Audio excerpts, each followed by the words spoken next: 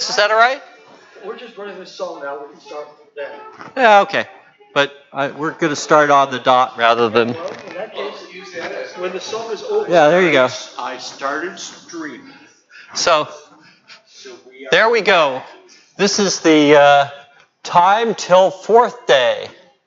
So if you're going to be at Forth day, you've got to got to start making your plans now. If you're going to present at Forth day, uh, some of us, you know, write our our uh, presentations for Forth day in the middle of Forth day, but uh, hopefully we're better prepared than that now. Uh, so there we were in San Francisco. We're not going to start for another minute or two. We got to wait for some folks to come back, I guess. And San Francisco is kind of unique in that they're one of the last places where the fire department uses wooden ladders.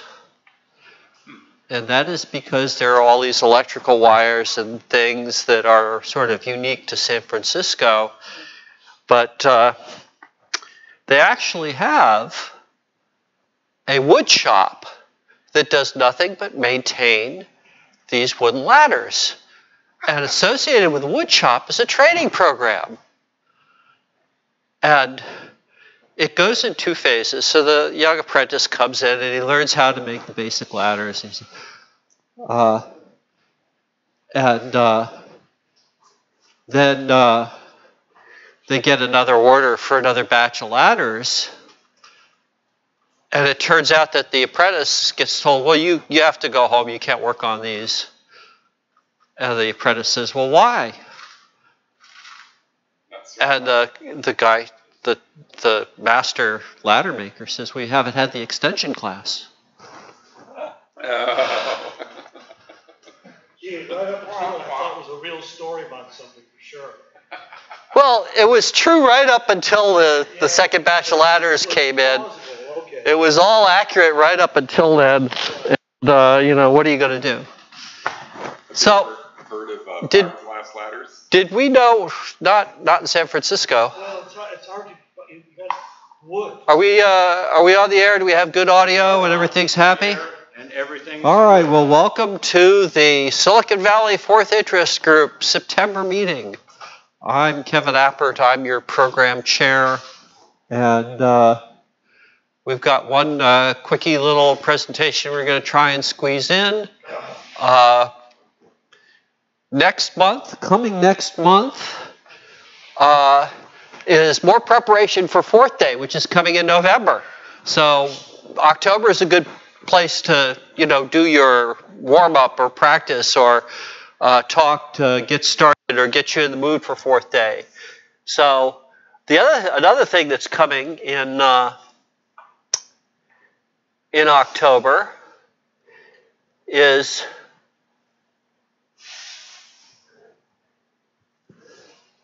this slideshow that isn't working.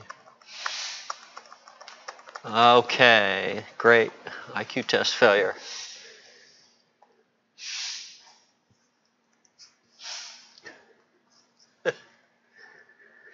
And this guy right here is our Grammy Award winning presenter. Uh, Jay McKnight's going to come hopefully in October and tell us about uh, the history of Ampex. And the thing that put us in the mood for this is that they tore down the uh, sign for uh, the Ampex. Uh,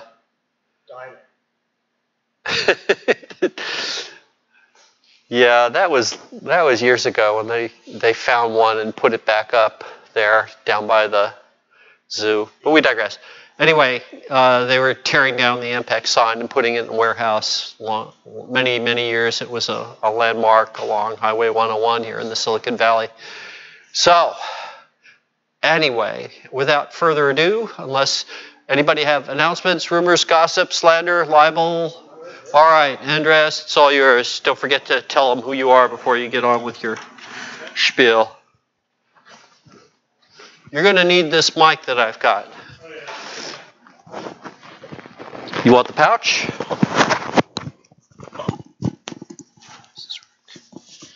Oh, it's got a clip.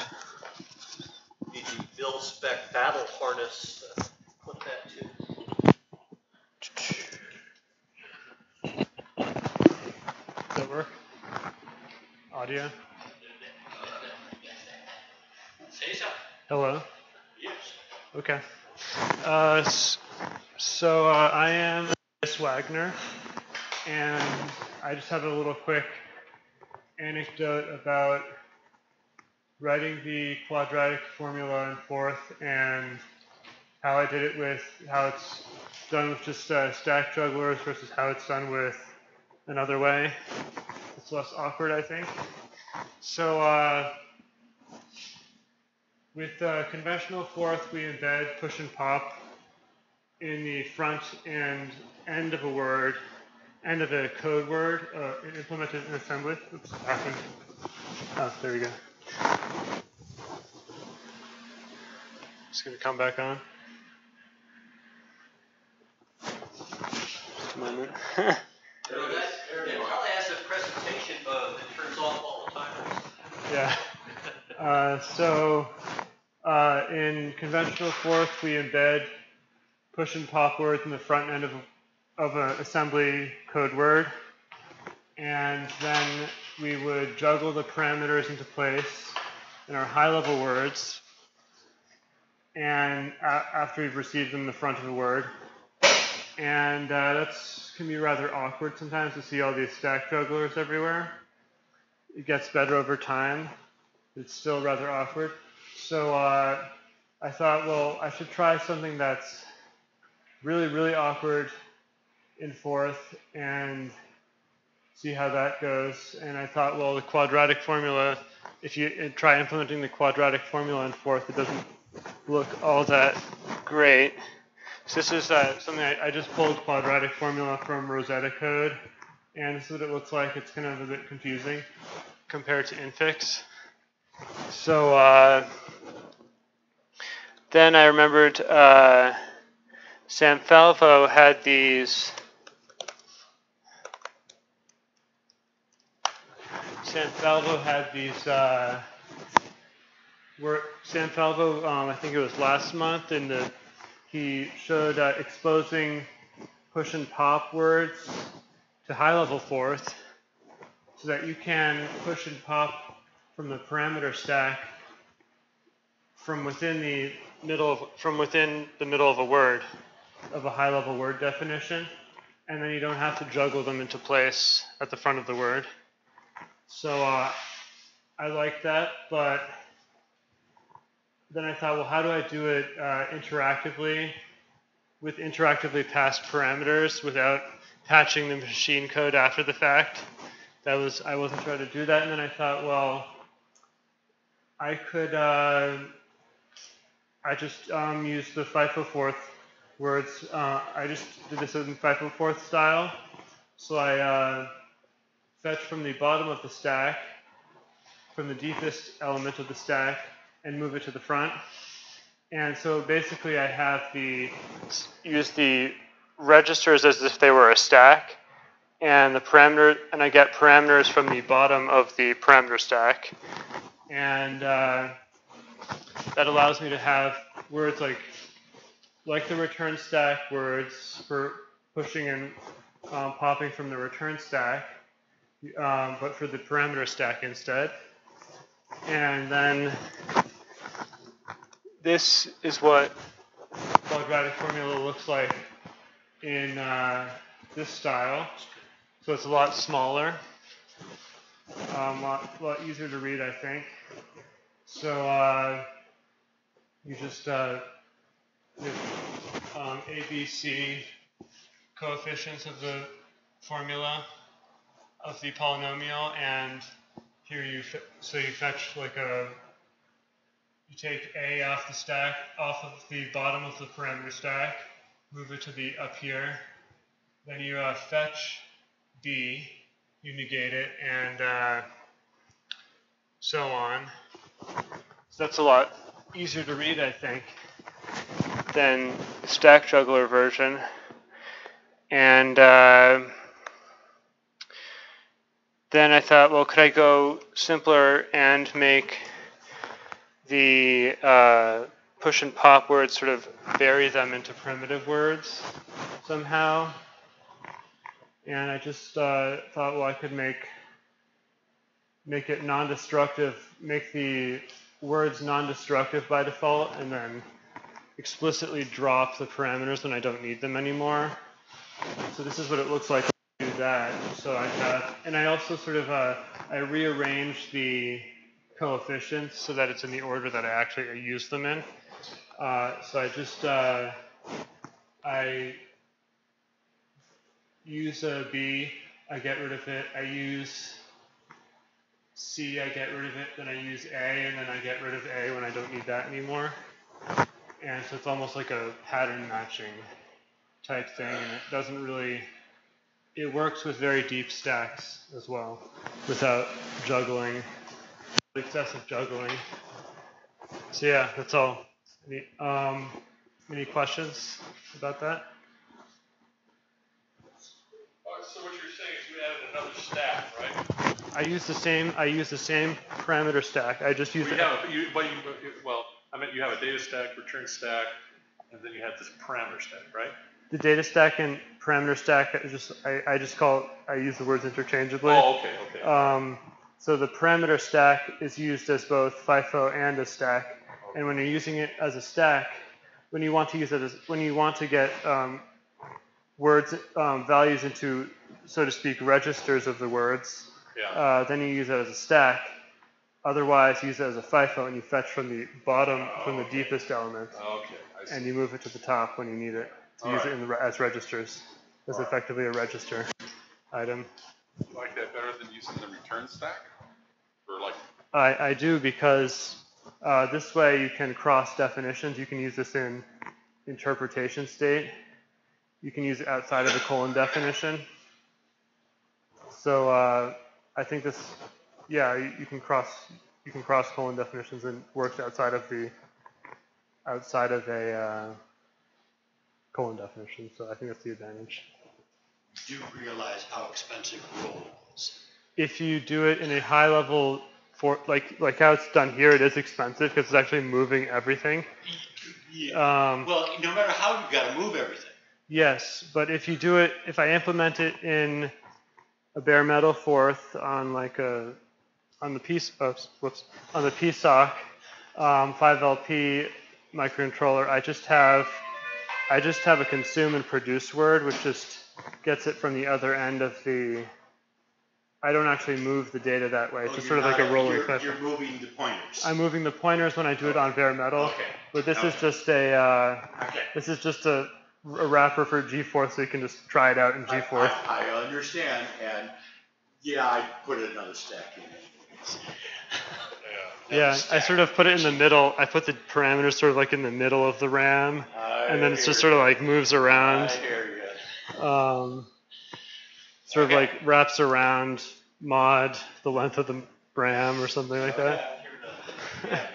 But it's it's efficient in bare metal, just not in Yeah. uh, not in G. Don't do this in Gforth if you want performance. Correct. Yeah. In, in any traditional Forth, roll is Yeah, don't touch roll. but on bare metal, this is just fine if you do it True. with pointers only.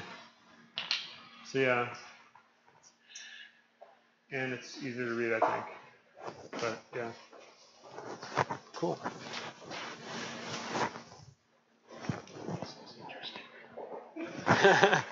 yeah, quadratic formula with uh, using uh, using uh, he just came here. Uh, it's a quadratic formula using uh, the stack parameter stack as both a FIFO and as a stack. And you use it as a just to summarize. You use it as a uh, stack when you want to get values into, so to speak, registers of the words in, that are processing the items, and uh, use it as you fetch from the bottom of the parameter stack uh, to use like Sam Falvo's uh, parameter stack push and high level push and pop words so that you don't need to patch the machine code if you want to have like D, D from and D2 or D fetch and D store, sort of like R from and R2. in our fetch and our store, but for the parameter stack instead of the return stack. And it works uh, across outside of colon definitions and across definitions as well, unlike the return stack words. All right. Any, anything else, or um, is the other person ready? By the, um, would anyone be interested in if I interested in a talk on like resonant metamaterials, kind of forth related? I don't know if you're interested. I could probably give a talk this month or so. Anyone? Anything else? Next person.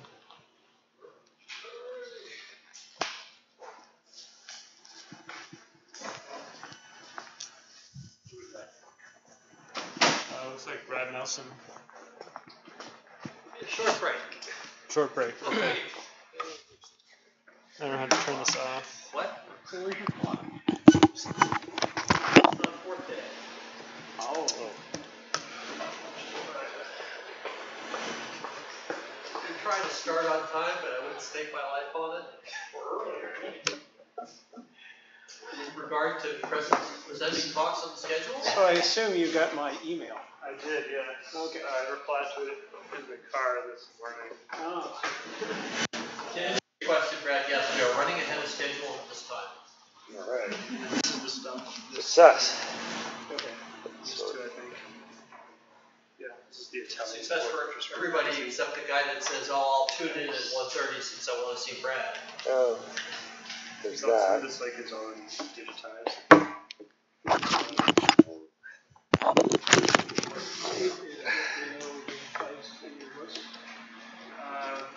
SIGForth you can get from Legend.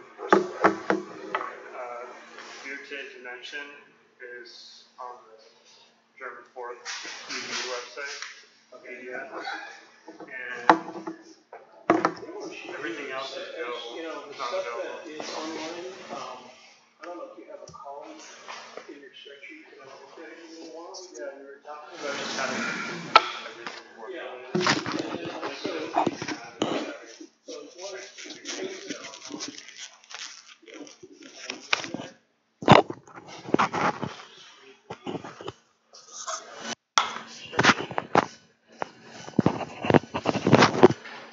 So this is just locked in the on position? Is that the, the new cleverness?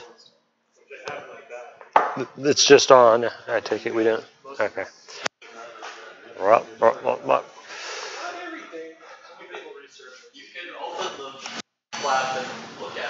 Oh, that's not forbidden? Ooh. Oh, snazzy. It's the same. Aha. It's just got a clever new covering. There's a guy that actually walked out with a clip on his belt.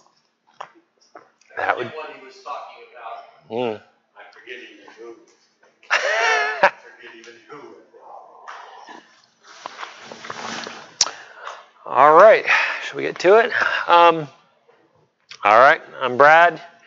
Um, here to talk again about dub uh, basic. Uh, now with donkeys.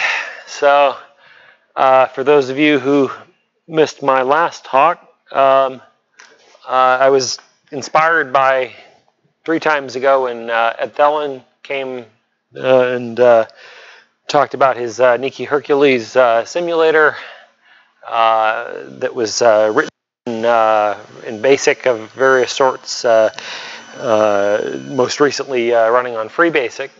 Um, but of course, I was off put by the fact that it, you know, on his, his, his website, he puts it up there and, well, here's this executable and it's guaranteed to be virus free. uh, so I thought, well, this is a shame. We've got this program, and uh, at the time, I I, uh, I uh, was not in the mood to fire up a whole VM just to just to run it uh, on, on uh, the Windows build he had, and probably could have just gone ahead and gotten FreeBase. You know, being the the industrious sort, I thought, well, let me do something about this. So why not make it possible to run it on the web, um, and uh, in particular to compile it to JavaScript. Um, I, uh, I quickly hit upon the idea, of course, if you're going to compile the JavaScript, you should, just do it sort of on the fly. um, because why not? And uh, and then uh, the other goal I sort of set for myself is I wanted to be able to run Ed's code as is uh, because you know at the point you say, oh, I'm going to re-implement it, that's that's a never-ending thing. Um, and uh, this was appealing because this is sort of basic as a basic uh, is a is a nice scope problem, especially when you only need to one, run one program. Um, and I figured this might give me some some inspiration on approaches to my next web-based Forth. So uh, I got it running uh, last time, um, and uh, actually met up with Ed later, and uh, we we sorted out a few few of the other issues with it. There's some caveats to it. There's some things with the help that are a little bit off in terms of text handling that I haven't circled back yet to fix, but the the core simulator runs and all of that. Um, so, so after last time, of course, then uh, then I uh, went ahead and opened. I had open sourced it, um, having uh, moved away from the Chrome team, where I could sort of wave hands and say, "Oh, this is just a, a you know a web demo related to my job." I'm now over an assistant, and thought, "Okay, I'll, I'll do the proper process." So we, open, it's actually open sourced at uh, uh, Google's GitHub uh, site and all of that. it runs Ed's program and and a few samples but there's a lot more basic out there. So that was sort of the next, you know, thing to thing to explore.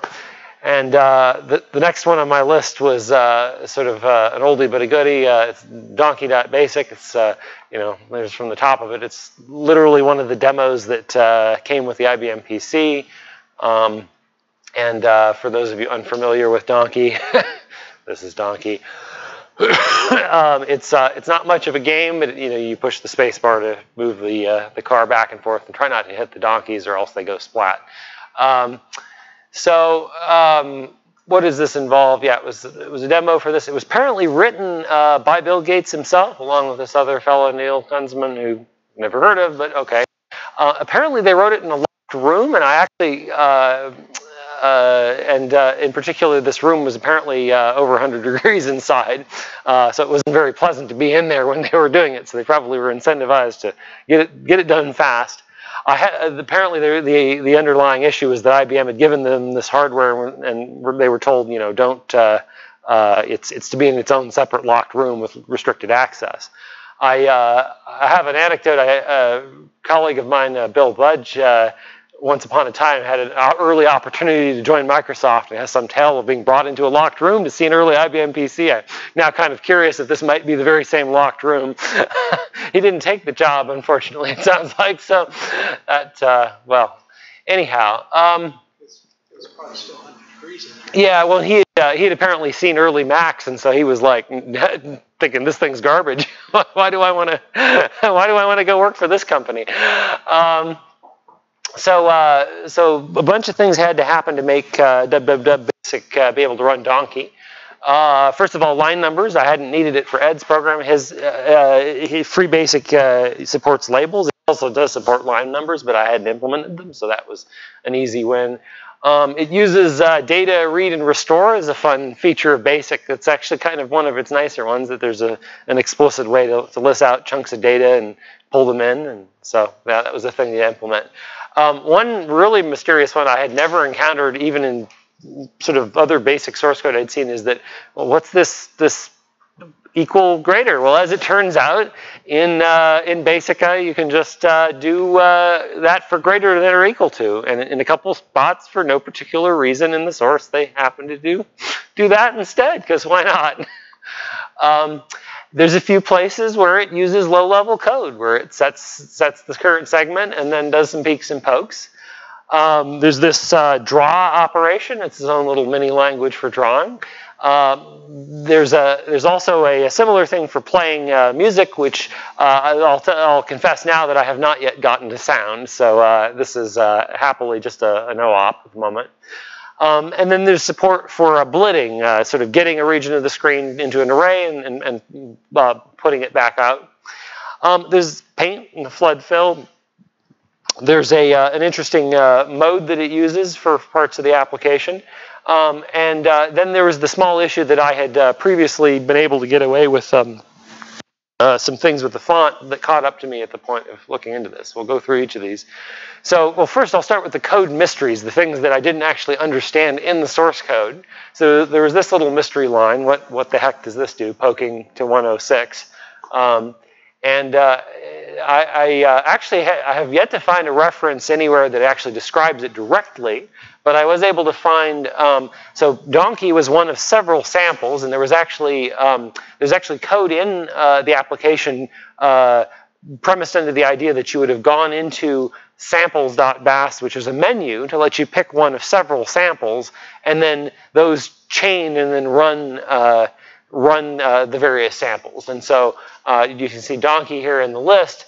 And uh, lo and behold, down here at the bottom is this uh, similar poke line. And it, what it turns out is that it clears basics uh, keyboard buffer. So they're apparently concerned that you, might have a key still in the buffer. So, and it's interesting because this sample, uh, both in here and some of the other ones, they sort of incessantly do this for some reason. I guess they're for keyboard issues unclear. Code mystery number two, um, this little thing here, it's in, uh, it's a def seg for those unacquainted, uh, sets the, uh, the, the segment uh, in X80, you know, uh, um, 8086 segments uh, that uh, the BASIC will peek and poke to. By default, it peeks and pokes in the the uh, the memory region for ba for BASIC's own variables. zero is down down at the top, and um, this particular one, uh, so this this sort of there's this here, uh, you know, it's reading from a location and then masking with 30 and and then confirming that it does not equal 30. Um, if you look at it in context, it gives a hint as to what's going on here. Uh, it's it, when this doesn't match, then it skips over all of this. Uh, but otherwise, it says, hold it, you're not using CGA uh, monitor adapter because this particular program uses uh, C, you know, screen one and CGA uh, four color mode.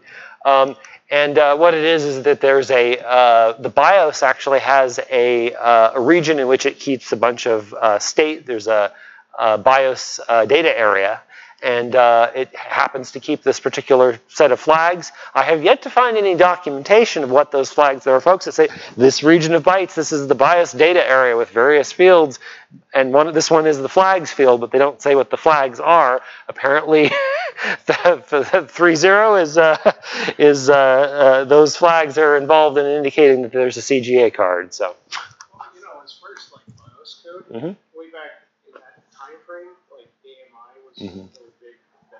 Mm-hmm. You can probably find older uh, firmware mm-hmm. online that's a dump mm. code. Mm-hmm. So you can find out what those regions are. Yeah, I mean, you probably have to actually do. Do they have actual source with any, or is it is it going to be sort of pieced through and just figure out what it what what it was doing to set those? And oh, okay, that might. Some people because I imagine they would have had to reverse engineer because if, if even something as foundational as these samples is checking these bits, if they're you know if you if you happen to have the wrong uh, whatever. The way I of course worked around it and the previous one is to make poke a no op for now and to make peek. uh, this one fortunately if you if peek returns zero all the time then you you uh, you uh, you you pass the condition in the right direction and so you you eke by and it thinks you have a CGA card so lucky lucky accident.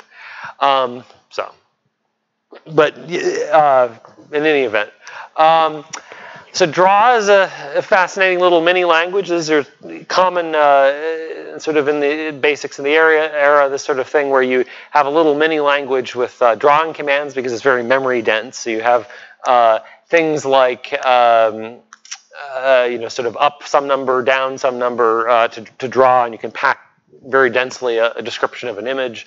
Um, set color, set you know move move to position, uh, and and then even scale and rotate the image potentially, uh, and then various prefixes to indicate that you want to stop drawing or to to to uh, to move back afterwards. So if you wanted to do like a star pattern or something.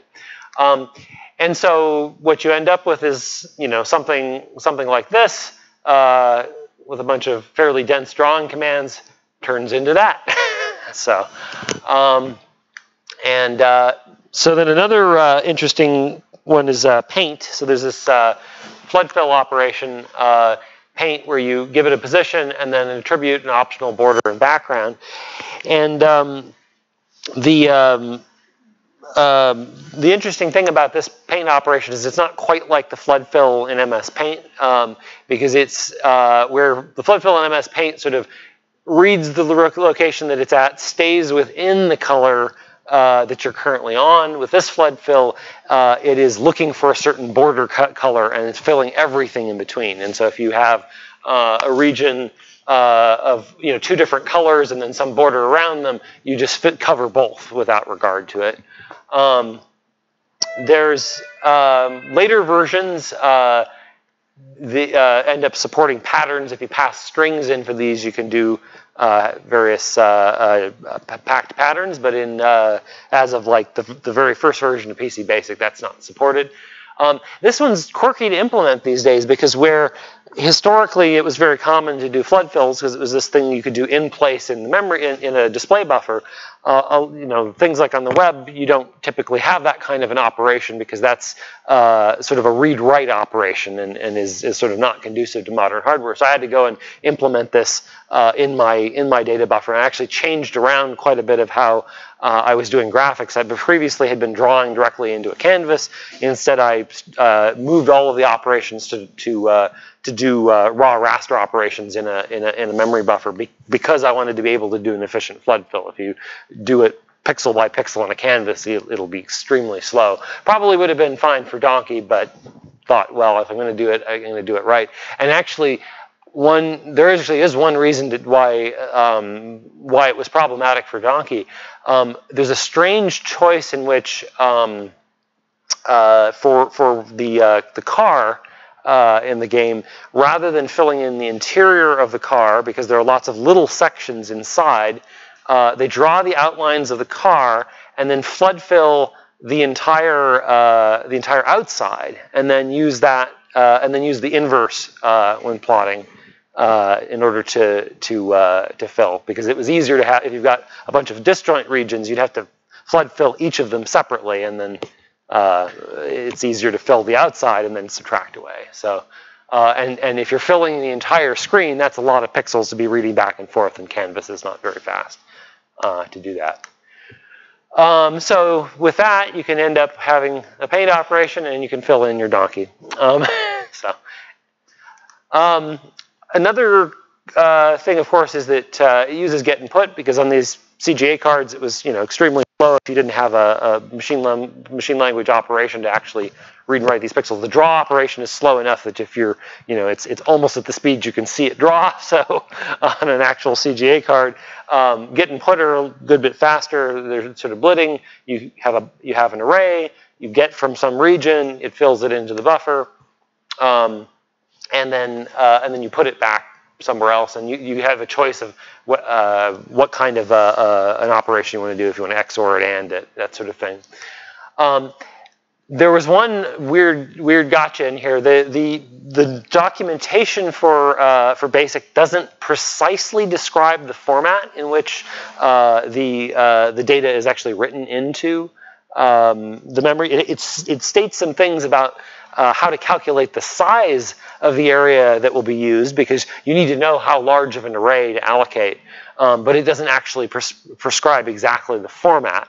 Um, and so unfortunately I had to dig into uh, what that format is because there's one spot in uh, Donkey in which it, uh, rather than uh, getting the, uh, drawing something, getting it, and then later putting it, uh, they just create a, an array and fill it in with data that's presumably in the correct format.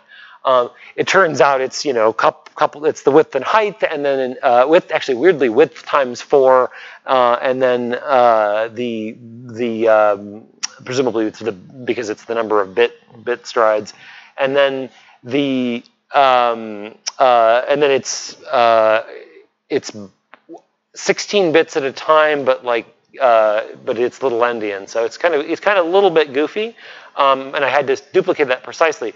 What it turns out they're drawing with this particular operation is if you see this uh, the the, the uh, road lines down the middle. Um, initially, it goes and draws each of those, and then uh, this uh, this uh, region that it's getting and putting is just a giant two pixel wide stripe down the middle, and it's XORing it, and so uh, it's just toggling the two. And so, Yeah, and they're doing that because that's a whole lot faster than going back through and doing line for each of them. That's, in early graphics, that's how, uh, dynamic, uh, pictures were done. Yeah. Using XOR Yeah. on black and white. You know, things Yeah. like, uh, you know what, uh, uh, rubber banding is. hmm You have a line, you take, pick Yeah. it in, you start moving it around. Well, first thing it does is it XORs the old line, Yep. then XORs in the new line. Yep. It just does that repeatedly.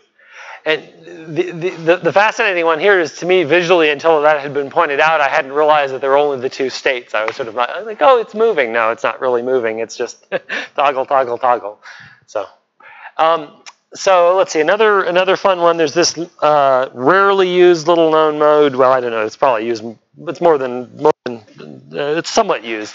Uh, there's a 40 column text mode on uh, on uh, uh, PCs, and uh, likely because uh, with the with the first PC, there were there were all kinds of situations where you uh, you you uh, you might want to have something look bigger. The title screen for Donkey and several of these other samples were done with the 40 column text mode instead. So that was a mode I hadn't implemented initially.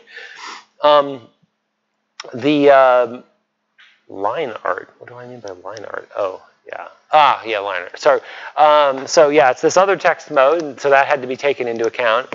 Um, it's used for the title screen. uh, You'll see in a moment when I bring up Donkey. Um, the the other issue is that previously for a font, what I had been doing was using um, I had been because I was drawing into Canvas. I was simply using built-in uh, built-in fonts, and uh, I, I was not uh, using a font that was a good fit for uh, having all these extended line drawing. And as it happens, the title screen uses the full uh, character set. Not the full character set, as you'll see. I so I ended up keying in my own version of uh, the font. I didn't copy it exactly just because, well, I wanted to be. I, I always enjoy doing little little eight by eight fonts for various reasons. Um, the uh, so, but I did enough of the characters to to uh, for the for this particular title screen. Um, and then uh, an interesting hap- thing happened. Uh, the the project got discovered by the press. Um, so on September 16th, uh, it made Hacker News. Uh, a bunch of folks discussing it and, and you know sort of nostalgia and oh whatnot with Basic. Um, lots of flurry of activity. Uh, a few days later, uh, Boing Boing, Boing had, had an article and they said sort of various interesting things to say. Hackaday discovers it and sort of okay, here's this thing. It's the web basically. um, and uh, possibly caused by or in tandem with, uh, suddenly my uh, my uh, project of one on GitHub uh, got a flurry of folks uh, expressing interest in filing issues, and so uh, the open source community shows up. Um, what is this now? Um, there's some of them. There's a project going on. There's a thing called QB64. There's some folks that are working on a, a 64-bit uh, Quick Basic, and they have various varying levels of compatibility. Their their goal is for native systems, so this is sort of um, related, but but not directly tied to their effort. Um, and so they've a number of them sort of popped up. Um, a bunch of them, of course, are interested in the Quick Basic era uh, of, uh, of applications, and, and, and particularly Gorilla and, and, and Nibbles. Gorilla was one I, I had remembered from that era, and that was sort of next to my list. Um, Nibbles, I, I guess it was uh, part of the same set of demos with it, but I don't particularly remember it. It's a one of these snake snake games and a similar kind of a thing. Um, it might actually be a better starting point because it's a slightly smaller and simpler application. Gorillas, Gorillas does all the things. It's got you know the Gorillas throwing bananas at buildings and things. Um, so I've had a bunch of outside, I've had 12 outside pull requests, uh, and uh, I got seven team members now on the thing. so of varying varying levels of you know sort of background and skills. Um, a lot of it is just little fixes. They found things with like uh, you know the color the color com- uh, command. I had done some things wrong. I had done something wrong with clear screen. Some fix. Uh, a bunch of great ideas for sort of places for improvement. Um, this has led to sort of interesting questions around logistics with GitHub. One of the things is that um, I, you know, I worked for years on Chromium, and, and there we had a very particular set of practices in terms of uh, you know squashing commits and things like this. But on GitHub, there's there's the kind of the GitHub way of doing things, and you confuse folks if you kind of run against that. So we've already had a little you know sort of poll and community discussion around well, do we want to do merges or do we want to do squashes or rebasing and all of that, which I didn't anticipate that conversation. Uh, fairly early on, somebody's like, have you grabbed the npm package name? You got to reserve that name so that somebody doesn't doesn't name squat that from under you. So now we have an npm package for it. Um, there, uh, there's a there's a, a, a, thread going on because of course any good project needs a logo. Um, uh, uh, Node Package Manager. I'll go into detail on that one in a sec. Um, and then and folks, of course, are like, well, you need a live editor for this thing. So uh, the uh, the Node Package Manager is the the package manager uh, that Node.js uses. Node is a, a ser- you know command line server side uh, JS library. It um, it's sort of the done way to like uh, deal with dependencies between applications and, and packages, and it makes it uh, very easy to to uh, glue together pieces of JS that are dependent you have a manifest describing the project, and they happily sent me a pull request with with my you know my name and email. Here's what you you need to fill out and submit to do the thing, and and uh, and and you know go do it quick before somebody grabs the name.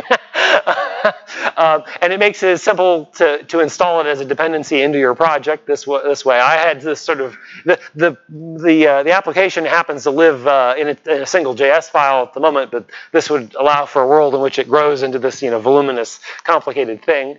Um, so that's nice. Um, there's a thread going on on, on a logo. I, I admit that uh, my prior interaction with WebAssembly made me think, well, that'll be a good way to give people a, a, way to engage with the project regardless of their technical level of expertise. And, and as it happens, if you ask, you shall receive. So I said, oh, well, maybe do, do we do we want to have a logo? And well, of course, they do the the uh, the obvious thing of um, if you're unfamiliar, the JavaScript, the official JavaScript logo is looks exactly like this, but says JS. So of course, somebody says that.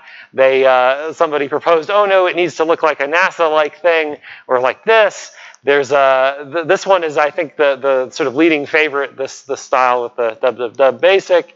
Um, and he's even got, got a whole presentation of how we could revamp the site. To um, there's, the, there's the, this sort of thing. Uh, that one's cool, yeah.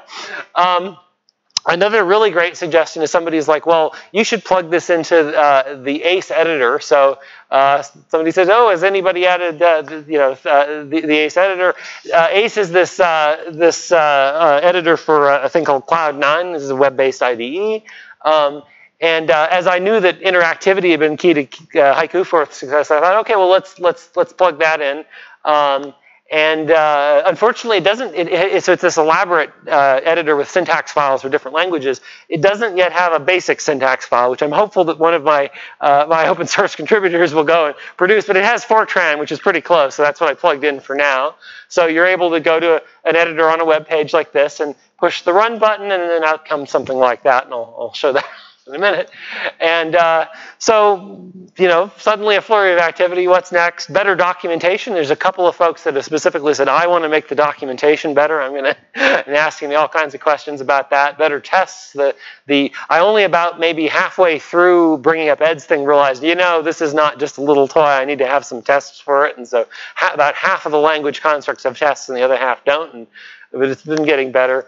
Uh, everybody seems to want QBasic compat because, of course, they all want gorillas and all of that. So um, uh, the biggest blocker there is actually uh, it's quite a lot more work to support functions and nesting. Ed's, uh, Ed's uh, simulator, by the way, is an interesting program because it used GoSub. It used a lot of sort of you know very very new features from FreeBasic, but it didn't use functions at all, uh, and so that was yeah, well, I've got most of the there were I kind of did it with an eye to that, so it's not as far. But it, there's and there's a branch where I've got it halfway working. But um, types actually are already kind of working. You can already declare types as long as they. The one caveat is there's some constraints around strings that are goofy. I haven't. I need to re restructure the way I do strings to to make it mesh better with types. Um, and then, of course, you know, gorillas and nibbles will be the, the obvious next milestones for the project along with whatever the community dreams up. So let's um, yeah, let's let's go over to the to the site. So as you can see, I've got you know a whole bunch of now I've got an active set of, uh, of uh, you know, got two pull requests I got to refer to. Somebody's implementing on GoTo because I had gotten away without doing that. A uh, bunch of diff- open, open issues. Um, so uh, let's see. So of course now we got to first show Donkey because because Donkey. So here's here's Donkey and the, that title screen that uh, caused all that trouble. You hit the spacebar, and if you can very carefully avoid hitting the Donkey, oh, and then you you get squished. Um, so that's Donkey. Um, the um, the other uh, the other fun thing, of course, is this this new editor. Um, so actually, let me zoom that in so folks can see. Um, but basically, you can uh, dynamically change things around. So let's say this is in a, a text mode, but let's say we go into a graphics mode, and then we'll do line uh, i times 100, i times 20 to I don't know, let's say i times 120, i times 10, um, something like that. You run it, and then you can do things live and have the program change and draw lines, whatnot. And uh, uh, all, all the various syntax, you know, sort of does, works there, and, and uh, you can interact with it. So that's been, uh, that's been great fun. Uh, are there any questions? What's that? It looks nice. I obviously, obviously attract attention. Yes. It might be a little bit better because of the that know. But, you- but it's- Indeed. Um, yeah, no, of course, this is the, the, sudden flurry of interest has been fascinating in the sense that now I get pull requests at various times of the times of the day. I, I don't know if this ultimately distracts from my actual goal of getting back to uh, to uh, using this as inspiration for Forth, but for now, I mean, they're you know, I, I'd been meaning to try to get Gorillas to run anyways, and it's ever so close. So. Well, you know, what you do is uh, convert, uh, you know, donkeys to, uh, to Forth. Ah, yes, clearly. that And that then we can create nostalgia games for. Indeed, indeed. It, it is interesting with basic the uh, you, you- so the the folks that have shown up. There's you know kind of a broad range of, of experience levels with with Git and otherwise, and and I think it's because you know basic has this even broader built-in community and sort of particular nostalgia around it. So it's, it's kind of kind of fascinating, and it's it, it also I think for you know, I, I remember, I, I'm old enough to remember Donkey, but like, you know, Gorillas and whatnot was the entry point for folks for whom their first basic was QBasic. I'm sure for folks that, and actually my, my first one goes back to the TI-99, so that's, you know, um, and, and I'll confess now that one of my, on the back of my mind, like I remember some of the old key-in programs for the TI-99, and I'm thinking, oh, I should add the, add support for that, you know, it's uh, built-in uh, graphics and whatnot, and drag out some of those, but, um, of course, we live in a world in which there's all sorts of emulators now for these old systems. So if you want that full fidelity experience, that's the way to go. But the, but it, there is something kind of fun about and uh, having it just there on the page. I don't. For those of you who missed the prior talk, one of the um, one of the things that's that's uh, neat about uh, the way this is done is that a program like this uh, just is um, is structured so that um, the um, oops, so that the if you look at the the actual source of the um, wait, why am I getting the ah. Um, if you actually just the the uh, the source of the page, the basic code is just put inline on the page, and so you're not having to uh, you're not having to you're able to just here's my HTML page, a little bit of boilerplate at the top, and then there's basic code. So there isn't the sort of the extra step of I'm running in an emulator in the system. It's just here's the basic code uh, inline. Uh, or, or a source tag that references a .bas file and, and it goes to town. It uh, it compiles rather than interprets, so that's another weird impedance mismatch with assumptions of some of these. Uh, so it goes through, converts it to JS underneath, and then runs that JS. Because for Ed's program, it- it actually needed the performance difference. So for Donkey, it wouldn't have mattered. But Yes, and in fact, actually, you, you, actually, that was something I didn't mention. Um, specifically, so that Donkey uh, would run at something approximating uh, a valid speed. What I ended up doing is uh, there's a little heuristic uh, that assumes that if you uh, you go some number of hops uh, without having drawn, that that might be the end of a frame, so that it knows how long to pause in between. And so uh, that way I'm able dynamically for Ed's program to know that I'm going to have to uh, crank really hard and do lots of operations per uh, at a fast rate. Whereas for Donkey, I need to let it pause, let, us wait for the next frame. so uh, I'm not sure it's a perfect heuristic there. I, you know, I haven't exactly clocked it, but I think uh, my Donkey runs maybe slightly slower than the original. I'm not sure. I'm not. It's uh, if you wanted full fidelity, you would obviously have to have to emulate all the things or carefully match it. Close enough. all right. Any questions? All right. Thank you.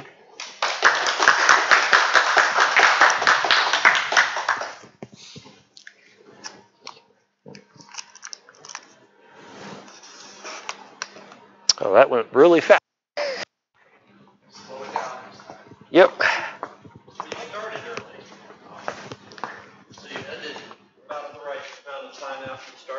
Oh, okay, that's good. And a good job it was. So uh, before we break, I'd like to ask folks uh, how they feel about Chuck's Euroformal, EuroForth talk. I'm not sure how long it is.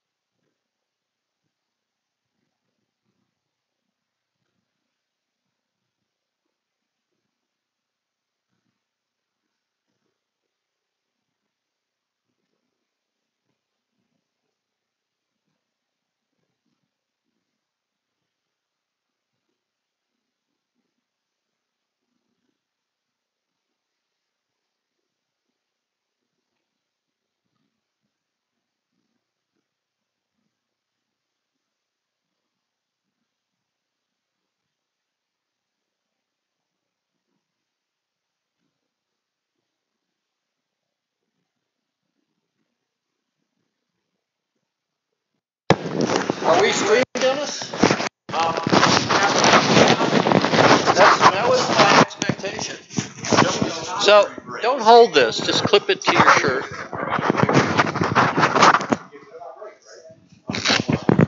Actually, their computers will You're, never. in- you're on. Put that somewhere.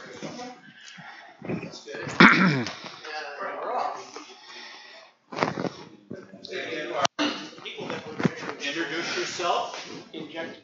Uh, Don Golding, and um, I'm here to present um, how I use Forth, um, creating an artificial intelligence kind of OS to uh, run intelligent robotics. this little robot here, uh, we sold about 2,000 of them in the 1990s, for pretty much over the 10 years from 91 to 2001. Mostly in education is where they wound up.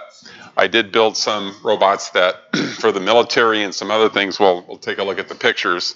But what I want to demonstrate to you is the multitasking um, uh, OS that we're doing. It's, it's called, um, I call it the Triune OS.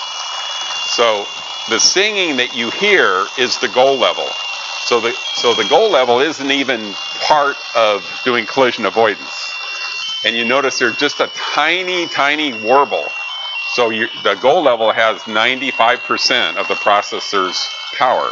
This is an 8-bit microprocessor um, with 64K of space, 32K of RAM, and 32K of PROM. Our whole system fit on 32K of PROM.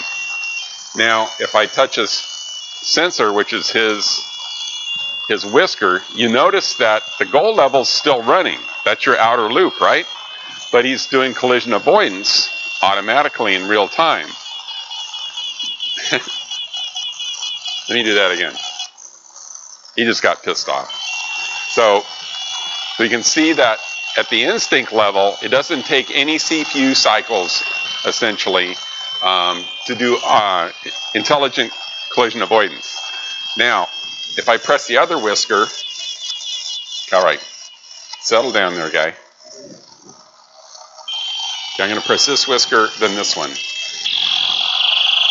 Okay, now that was a behavior. So what we have is we have a combination of preemptive time slice multitasking plus cooperative multitasking between the goal level and the behavior.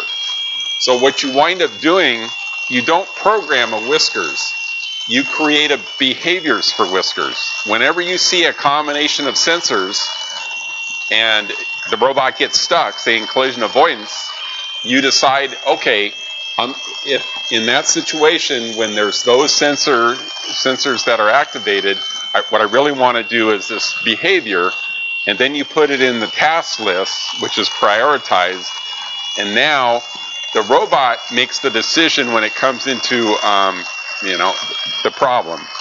So let me just let him. Can you uh, video him on the floor? So you notice he's singing his song. He's avoiding things. Touches other whisker. Now that is a behavior I call frustration. And what's funny is when I made that behavior, I was fooling around, and everybody loves frustration.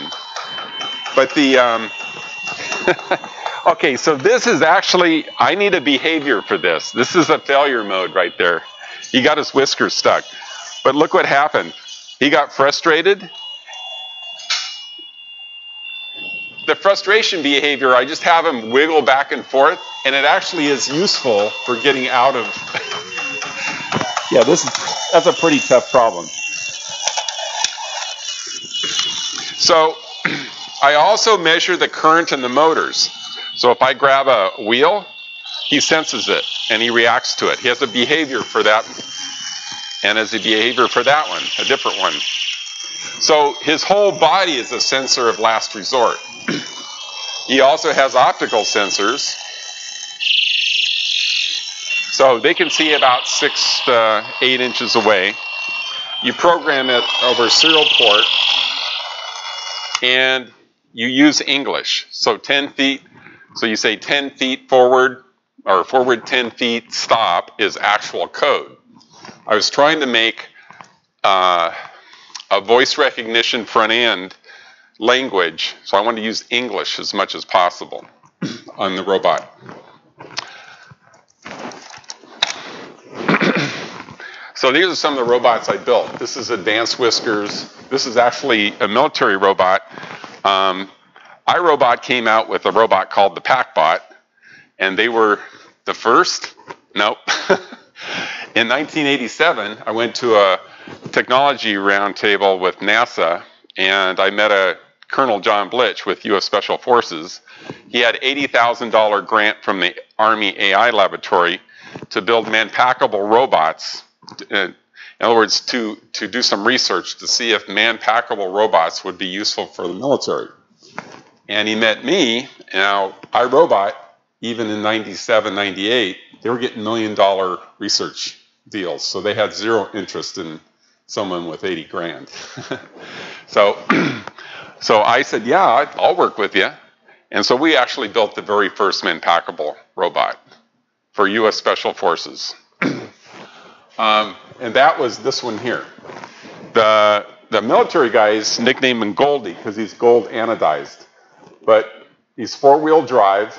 The wheels are somewhat articulated, and he could flip over. It, they wanted it invertible.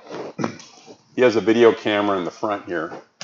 And then after they did research and they proved the concept of a small man packable robot, um, I actually designed this robot, which is called Intruder, which I do have a video. If we have time, we can watch the video of this thing in action. Um, this is MR1. This is the idea behind uh, the Triune OS is use distributed a processing. So you have one processor managing the base, one in the head, one in the arm. You network them all together, so you get a real real-time system. so this is kind of a research robot. I was hoping to sell them into universities, but I never sold one of them. I just I own one.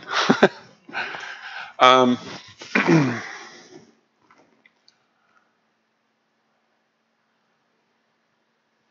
So, you know, some of the applications we're looking at the time healthcare, industrial material delivery robots, commercial security, hazardous waste cleanup, search and rescue.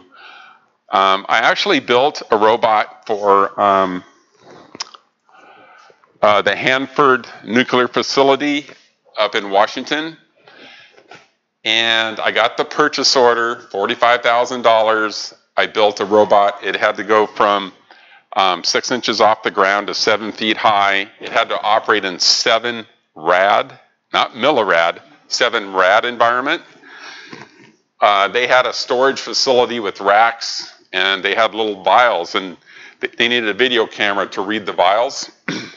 so it had, I used the, idea, same concept as a uh, forklift and for the camera. And so it could go six inches off the ground to seven feet in, in the air using the same concept. No, it was a like a forklift. You know, forklifts extend. I used this. Right. Uh, we built the robot. We were. I was working on the software. They were getting impatient. They canceled the order. so I still have that one. but um, yeah, they were pretty serious about it. They were looking at all the other robots in the market, and none of them met the spec. But I, so I don't know what they did.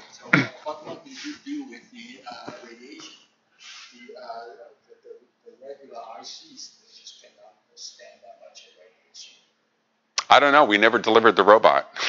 so. Yeah, usually it's a rad hard.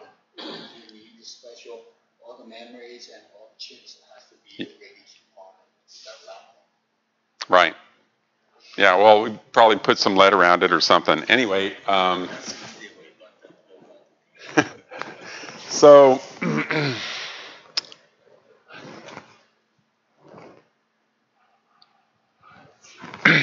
so it, it the, the funny story was I really discovered this.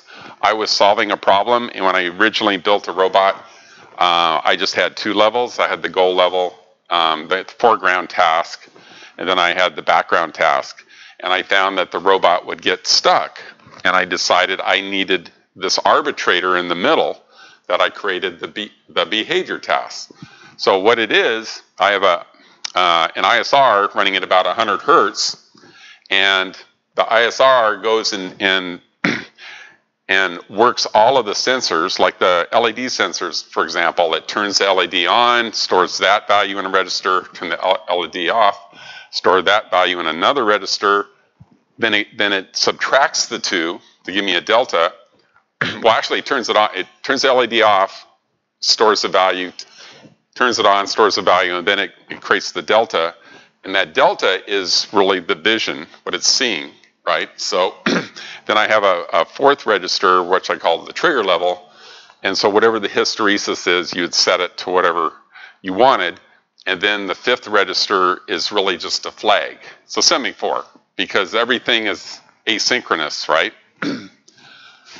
so all the flags and all the data for the registers, the motor uh, motor current and everything was stored in all these registers first thing in the ISR. The last thing the ISR did was it made a call to my task list and then it just runs through my task list. So the front first part of the task list are tasks. In other words, you want them to execute all the time. The second part of the task list are behaviors, which are always if this condition exists, you execute this behavior. That's how I do the cooperative multitasking between the goal level and the um, and the background. Um, so I created all that because I, I just solving a problem. I had no idea that there was a biological association. and I was at a trade show and I was describing this to um, you know someone like like you, and they uh, they said, "Oh, that's the triune brain." I said, "Well, what's that?" And then they went on to explain how you know we have the, the our um, our nervous system and we got the limbic system and then the cerebral cortex and how they all interact. And I went, oh, that's my OS. so I started calling it the triune OS after that. And um, the funny thing there is in 94, I gave a, a talk at JPL to their top roboticists. Uh, Homi Seraji, if anyone knows, he was direct, he was in charge of the group at the time. And I talked to him about the three-level architecture. I had all the top guy, all the guys that did the rover, and and that stuff in, in the room. And Homi Seraji was looking at me with big, big eyes, big saucers, you know, because there was some researchers in the robotics community that was working on a three-level architecture and you know didn't really get it working. And here I was doing on an 8-bit micro, using Forth. and um, so about 18 months later, they came out with 3T. Now, 3T was the same algorithm, you might say, that, but it was made really complicated. I mean, you needed a 386 and above to run it. And most of the autonomous, autonomous cars and things today are using JPL. They started with JPL's 3T, and went on from there. So, yeah, I got a software copyright, but you know, good luck suing JPL. um,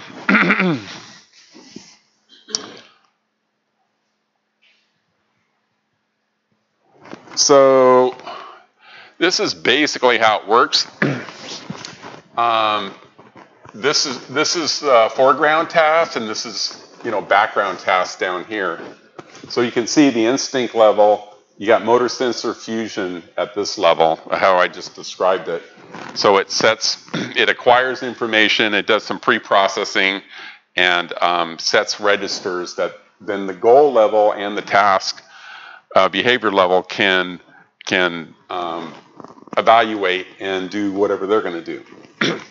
so, like I said, tasks are in the first part of the list, means they execute every time and then behaviors are the bottom of the list, and you prioritize them. So I have a word called priority. If you say one priority, it pushes the first thing on the list down to the second, and you stuff it in there, you know, and then uh, you could say delete task number three. So a task can actually reload the entire task list if it wanted to and restore it when it's done. So there's a lot of capability doing it that way. Um, so an interesting thing about about using this kind of reactive mode is you have the left-hand rule for sol- solving a maze. So it's absolute trivial to make a Whiskers robot solve a maze. You basically just make one motor a little bit faster than the other, and then the whisker would keep nudging it off the wall. So it would basically solve any maze with no, literally no code.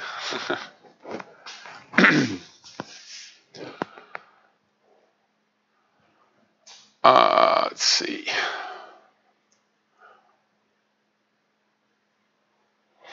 Okay, so I'm gonna I'm gonna go on to something new here. Let's see. Um, so our most popular now this is a, original version. Um, I had a clear top so the kids could see it. My biggest market was actually in um, middle school, high school technology labs. So we built a curriculum in 10 hours time. Kids using this robot um, would learn basic programming. They'd learn about loops, they'd learn about constants and variables, and they would, in 10 hours, they would learn the basics of programming using a very fun machine. And it was very popular. We had the number two and number three largest distributors in education, which is um, LabVolt and Paxton Patterson, were selling our, our uh, robots. And they sold about over almost 2,000 of them in 10 years. So I was doing a little calculation. That's about 24,000 students per year. Uh, were actually cutting their teeth on programming using Forth because Forth was exposed. I mean, I didn't hide it. uh, when you see the code, it says colon space, you know, my routine. The kids are learning this colon space, you know, my routine, and then, uh, you know, go forward 10 feet. And I gave them the whole Forth, all the Forth words are available so they could go as deep as they wanted. And then they could add it to the task list and see this new behavior that they created, which is a lot of fun for them. Um,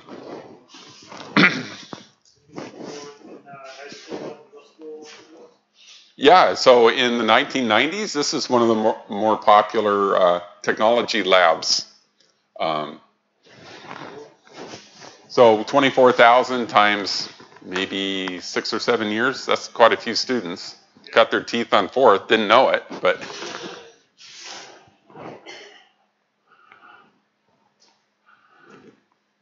Now you could build pretty much any robot with this, doing it this way. Um, got an order from a, a science museum in Georgia, and what they wanted was, see this track down here? They wanted to be able to put a track on the floor and change it any way they wanted. And then on one side of the track is a conveyor belt, and it would drop a box. This is actually a conveyor. So um, there's a light sensor. When the box hits it, it would pull the box onto the top. And then the robot would, once the box is pulled onto the top, would take off, go to the other end, and then dump the box, and then come back again. So I used one Whiskers controller for that. That was a real uh, application. Um, we only sold one. one doesn't make a company, but it worked really well, and they really liked it. It was a science museum. uh, So it basically follows the track yeah, and you just you just put the tape any way you want, and it would follow it. And it was trivial coding. I mean, it was a few lines of code. It really was nothing. Because once you have the, the architecture down, it makes it so simple to make real world uh, robots. This was, now Piper was a real application. So this is a pipe inspection company. There's a video camera in here, and these are actually lights. And what Piper would do, the head would go back and forth like this, and it would scan the inside of a pipe looking for defects. And it had a 500 foot uh, cord on it. And you could actually, uh, they had some heavy wire on it, so they could ink it out if it got stuck. And that was a real world application. Sold one. uh, How about the, the, the wheels? Uh, how does this move? Well, it's, it's inside of a pipe. So, like uh, probably an 18 inch pipe. And so it's all wheel drive. So it could go up a pretty good angle. And um, yeah.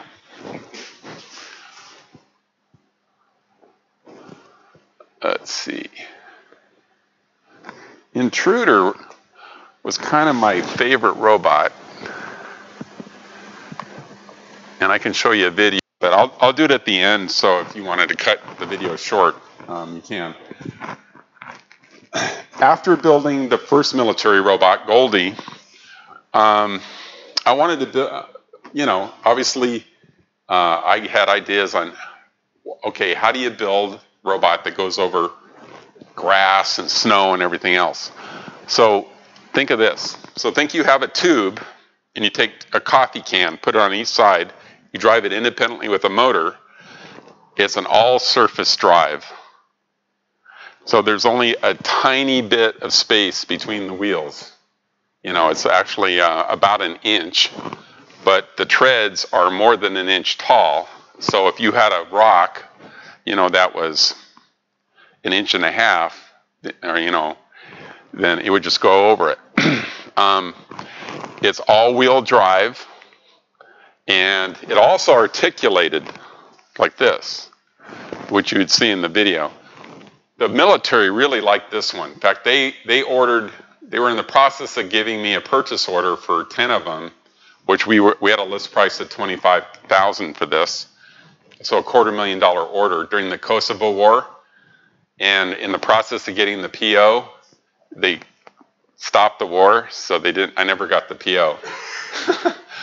but there's a company called Suma Technologies in um, in uh, uh, in Georgia, and they were making. They actually paid for my plane flight out. They wanted to actually distribute this to the military, and I flew out there, and they were making the side panels for the um, the space station and they had this biggest freaking milling machine I've ever seen.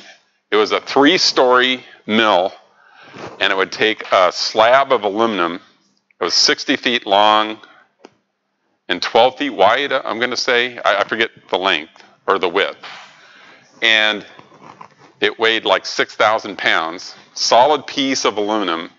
It would mill out honeycombs, and when it was done, they had 5,500 pounds of scrap, and they had a 450 pound, you know, panel out of that was originally solid aluminum, and uh, it was amazing. I wish I had a picture of that thing.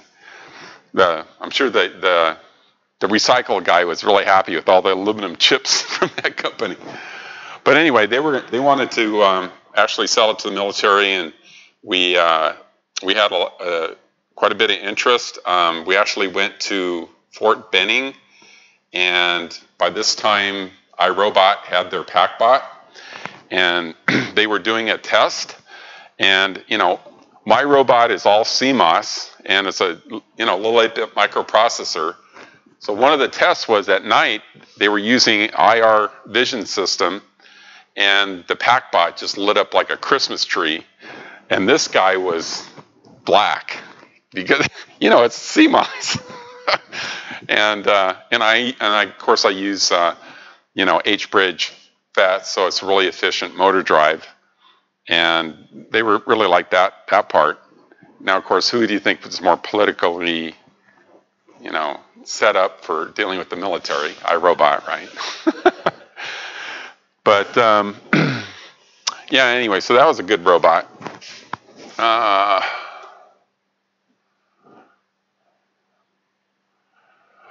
So what I kind of want to do is show you code. Um, first, I want to talk about, so the instinct, instinct layer is the highest priority, but it's the dumbest. It just reacts. So instinct, pressure your, your hand on a hot plate, your nervous system pulls your arm away, then your brain, you know, sends a signal to your brain, pain, and then you start thinking about it. Maybe you have a behavior, right? You're waving your your finger. So anyway, um, this is the, the architecture. So instincts are the highest priority, least intelligence. Tasks and behaviors are medium priority uh, and medium intelligence. They typically are doing simple things, but with this architecture, you are not writing a program to solve a problem. You are, it's like teaching a child. If you're in this situation, you do this thing, right? It's like teaching a child. Now the robot's making the decision, not the programmer. That's the whole point. I want the robot to make the decision. And the more behaviors you give it, the smarter it is. Every time it fails at doing something, you add a new behavior for whatever that failure mode was. And now you made the robot smarter. so the outer level, which is really your foreground task, and you know that's your that's your. Oh, by the way, this all works. You know, um, you're using a terminal to talk to it, and you see an OK. You can you can be um, you know colon at a colon definition while the instinct level is running because it's all um, all done in the background. So Forth Forth is really the goal level, right? Um, so the outer, the outer layer um, or the goal level is the least, least priority and is the highest intelligence. In other words, the goal, the goal level, because, because the instincts and behaviors can get you, get across the room, all the goal level has to do is the door is over at 349 degrees, and as it's going, say down here and avoiding things, now it's at th- three, uh, you know, 320 degrees, and then it sees it as okay, make a make a right turn. So the goal level can is really simple to write because the robot is doing all the collision avoidance, the, the three level architecture. and the funny thing is, after I finish this, you know, I do lots of embedded systems. I even write code in C. And this influenced me, and I always have like a hundred hertz task, and I'm I'm at least using two, you know, two of the the three levels, the instinct and the goal. Um, and then sometimes if you know I if I need uh, you know tasks, then I'll add the, the the middle level. But it, all it is is you just call the function, right? You just call the the task function uh, from the ISR. That's all you do. So this architecture, actually, you can do it. It's so so simple and so little code. You know, I just explained it to you. You guys can all go home and do it because it's it's really easy. um,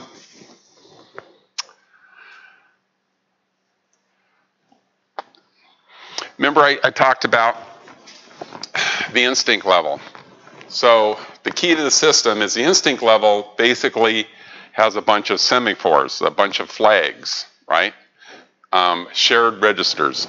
So here's an example. So left front trigger, um, that is that's an 8-bit register. so it's either high or low. Um, and here's the left side front.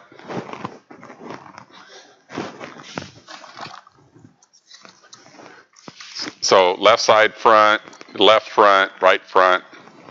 Um, we got the left motor trigger and the right motor trigger. So what you do is you set those trigger levels, and whenever the the actual um, signal is above that trigger level, it does an over motor ride, and then you have a register for whatever the motor mask is. In other words, if you want it to turn, if the right sensor sees something, you want to turn left if you're collision avoidance.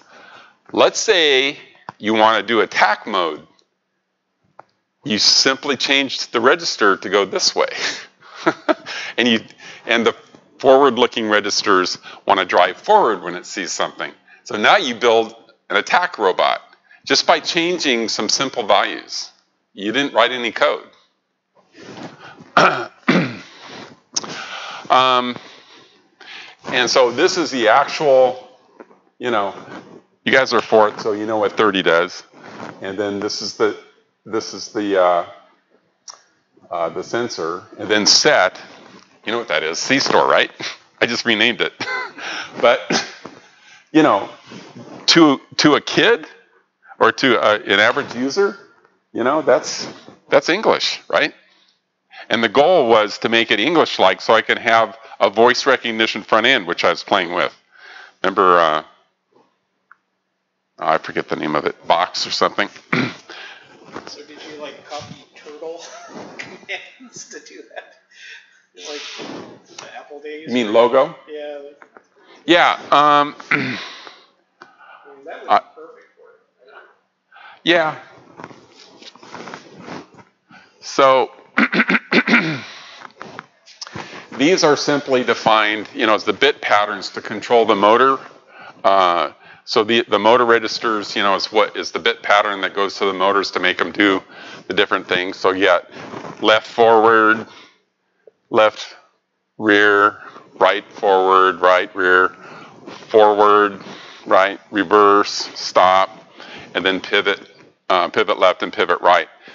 So um, these are the actual commands you would use.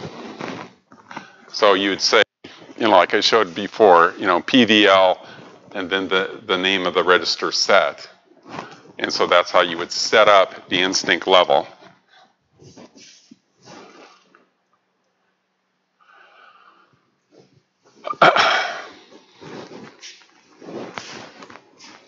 Okay, so these are the, so the previous screen, this is where you would, these are the, basically the semaphores that you're gonna um, load with those. So you can, each, each sensor, you can have nine different motor commands, right? um, so this is how you use it.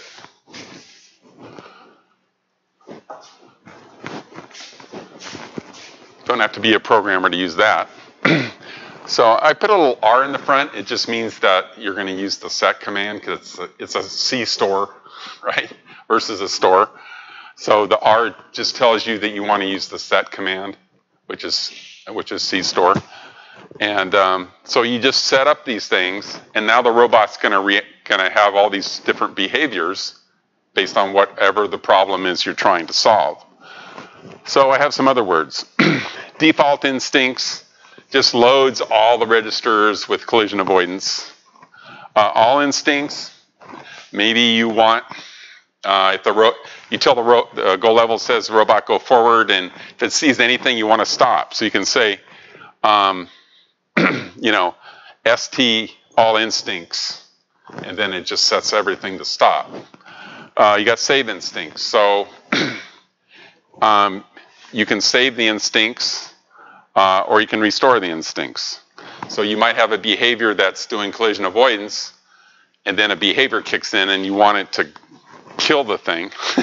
you know, you want to change all the instincts around so that it's attacking the thing. So you do a save instincts first, and then you do a restore instincts when you want to go back to collision avoidance.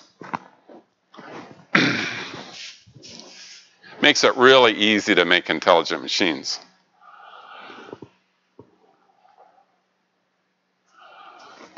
Okay, so these are the registers that hold the values of the sensors. So I have an ADC that's that's looking at the optical sensors, and so uh, and there's a um, there's a photo Darlington, and so basically we're getting an analog value they're stored in these registers. And same thing with the right motor and the left motor. It's storing the actual current. So you have a lot of information about what's going on with this robot to create any kind of behavior you want.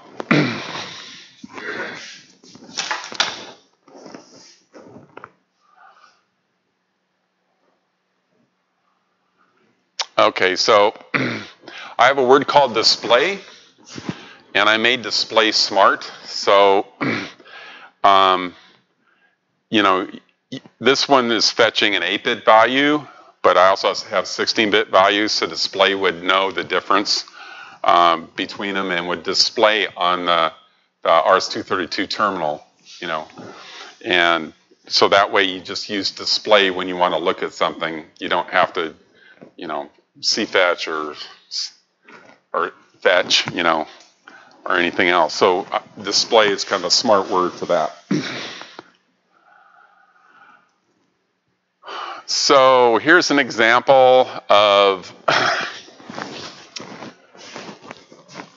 so V collided, V means it's a 16 bit value, right? We're going to be using fetch with that one. but if you use, if you said V collided display, collided display, display smart enough to know, to figure that out. So this is, uh, collided means any one of the instincts got set.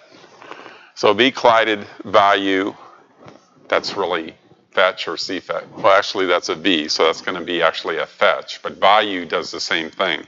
You can use it on an 8-bit register or 16-bit.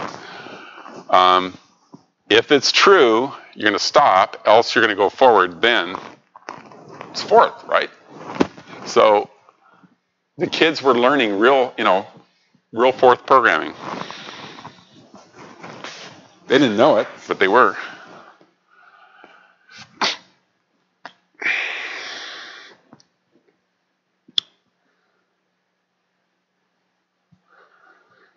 Yeah, so these are some registers um, that basically, you know, uh, we saw something. So you can use any combination of these.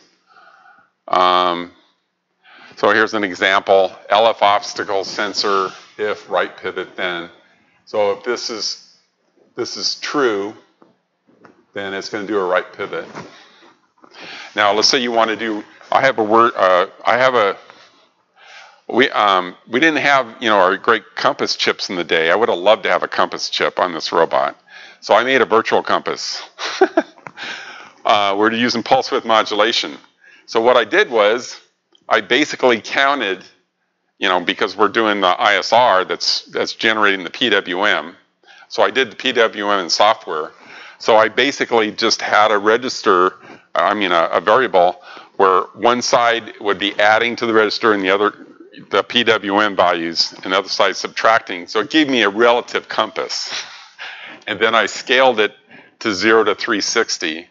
And so the kids, you know, it's a really crude compass, but if you have a compass, it's really great to servo on the compass for collision avoidance because then it's, you know, the robot goes like this, right? It's always trying to go that away. If if an instinct makes it go off to, off this way, and you're not telling it to servo on a comp compass, it's changed its direction. So I needed compass. so I made I made one. Didn't have hardware. So here's some more. Um, so this is max speed was always set to be 100, but you could set it. Uh, every aspect of the system you pretty much can tweak. Um, our correction basically to make the robot go straight. So maybe, you know, you had to subtract, you know, three from the value, you know, on the PWM to make it go straight. Although this robot doesn't have to go that straight because it, remember, it's servoing on a goal. So in the day, everyone was using wheel encoders because they were trying to get precise. I said, screw that. You know, we want to go through that door over there. That's what's important. So the goal level should look at the door, and who cares if the robot goes on a perfectly straight line getting, getting to it. We want it to be smart, intelligent, and go over. um, this is uh, disables, enables stall detection. Um, there's our virtual compass. Uh, this is the maximum value for the compass. So here's some code on how you can use some of the, these things. so this is a register that, that turns the whiskers on and off, lights on and off, sense on and off. Um, you want to have a delay. Uh, so you notice when I held the wheel, it took a little bit before it reacted.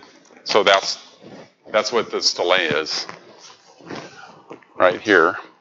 um, and then you can turn the stall, basically motor stalls on and off. Um, this is how you calibrate the compass, this max compass. Um, so how you get the, you know, get the compass value. So, you know, people don't have to know C fetch or fetch. So value is smart. STL instinct. So you can, remember the, the nine motor commands? So all instincts, you can set them all to be the same if you want, using all instincts.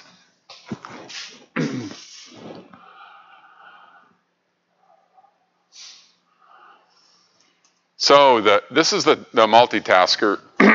um, so I have a combination of preemptive multitasking plus cooperative multitasking. Behaviors, which are the if the situation exists, I'm going to do something, are cooperative to the goal level.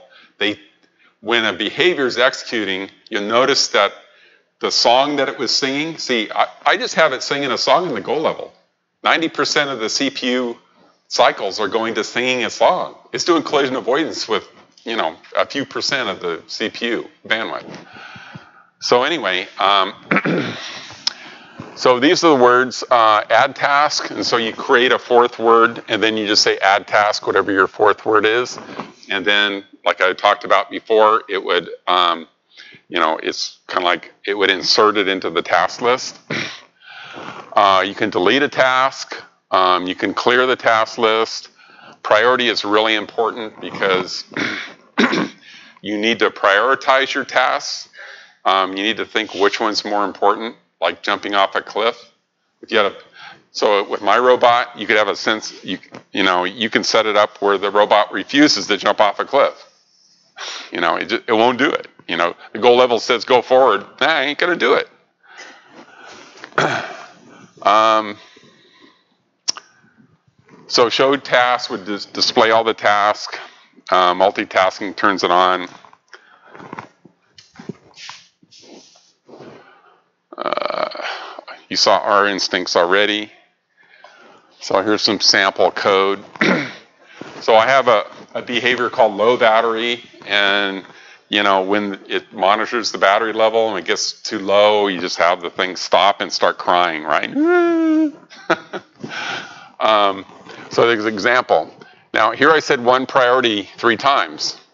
So this is actually both whisker hit is going to be the first priority.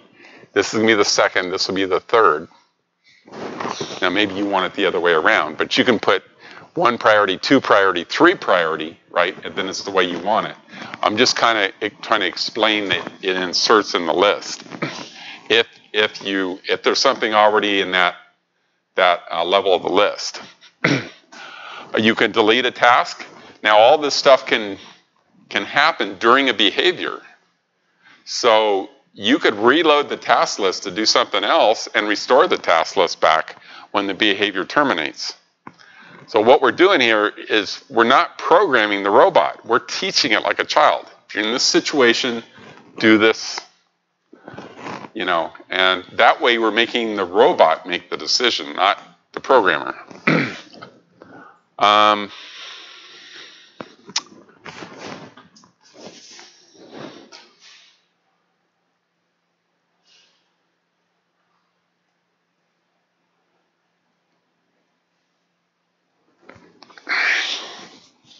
So here's some more source code. So, um, you know, variable is um, Forth word, and I create a, a, new a new word called vhit. So now remember is C store or store. It's a smart store, and then here's a here's a behavior uh, front front encounter. So a front obstacle sensor if it's true, then we're going to do an F hit increment. We're going to increment that. So every time it gets a hit, so as long as it sees something, it's going to keep going higher and higher and higher. Um,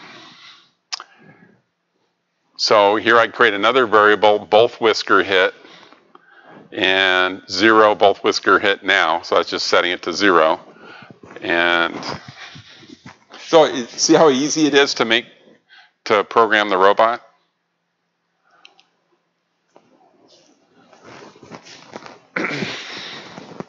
So this is actually two sensors, right? And then we just do an AND, and then and then we it's a, just a simple if, if statement.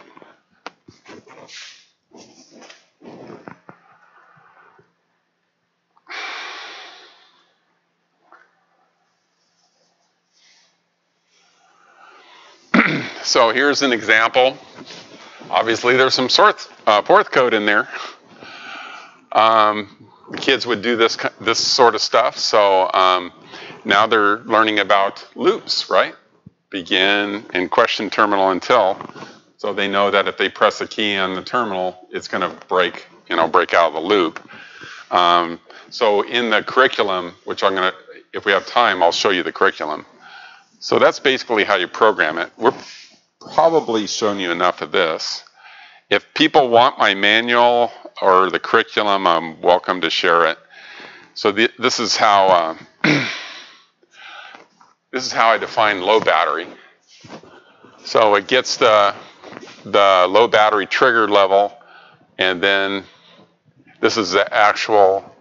I, I should have named that battery variable anyway. Um, but this is this is actual uh, Forth code, and so basically it does this stuff. You um, display, so it's going to display the text screen. You know, it's dot quote, right? I was trying to make it more as English as possible, but I really didn't redefine anything. If you wanted to use sort uh, force natural stuff like cfetch and store, you you know, you can do that, no problem. Okay, so that's kind of gives you an idea of the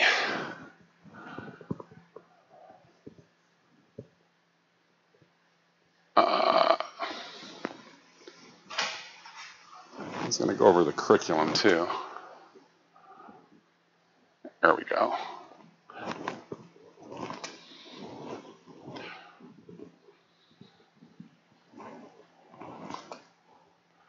Okay, so this is the actual curriculum that we that I worked with uh, some teachers and put together. Um, so we just you know defining the different sensors on it, and I wanted to create as close to an artificial creature as possible. Whiskers actually has a microphone and can digitize into an array the, the data. So we actually have a, a fine sound routine built into it. So it can actually pivot and listen. You'll see it make a 10 degree turn and all the lights turn off and it, it um, listens and then it puts all these values in an array and then it can, because of the compass, it can swing back and go to the, and find the sound, which people like that. But I, try, I tried to give it as much um, of an animal you know, um, characteristics as possible. So it, it sees, you know, we, we talk to the kids, you know, it, it sees with its four eyes. Um, it touches with its whiskers. It can feel its entire body using the, the monitoring the motor current. It can hear with the microphone. It can speak. It has um, all the, the ranges. um, I, I, had a, a guy, any, you guys know Ken Butterfield, right? Ring a bell? He's a major Forth guy. At least he was in the night. You remember Ken Butterfield from Los Alamos? You remember him? Okay. Ken Butterfield was in charge of the instrumentation group at Los Alamos. He was the number one guy. Every instrument that his group made custom for Los Alamos was written in Forth back in the early 90s. Every one and he he was he bought my robot. He was the second buyer of my robot. He saw it. He says, "I got to have one of those." and then he got it, and uh, he says, "Don, I'd like to help you with this. I can actually, you know, I could rewrite some of your low level because I wrote everything in high level Forth, all, all the background tasks and everything, and it ran fine." He says, "I can make it faster because I'll do it in assembler." Hey, no problem. And then he also was a musician, and so I had kind of hacked together the notes, and he says, "Oh, Don, that, that's bad." so, so he went and made all the notes the right, the proper frequencies and everything. So, um, let's see. So we try to give all the attributes of like a, an artificial animal. Um, so I just have some simple stuff. Um, this is a table so you can see the different. Uh, So this is something you could actually display, you know, on, on the terminal screen. You just type in sensors and, and, and enter, and it would display everything that's going on at the, at the instinct level.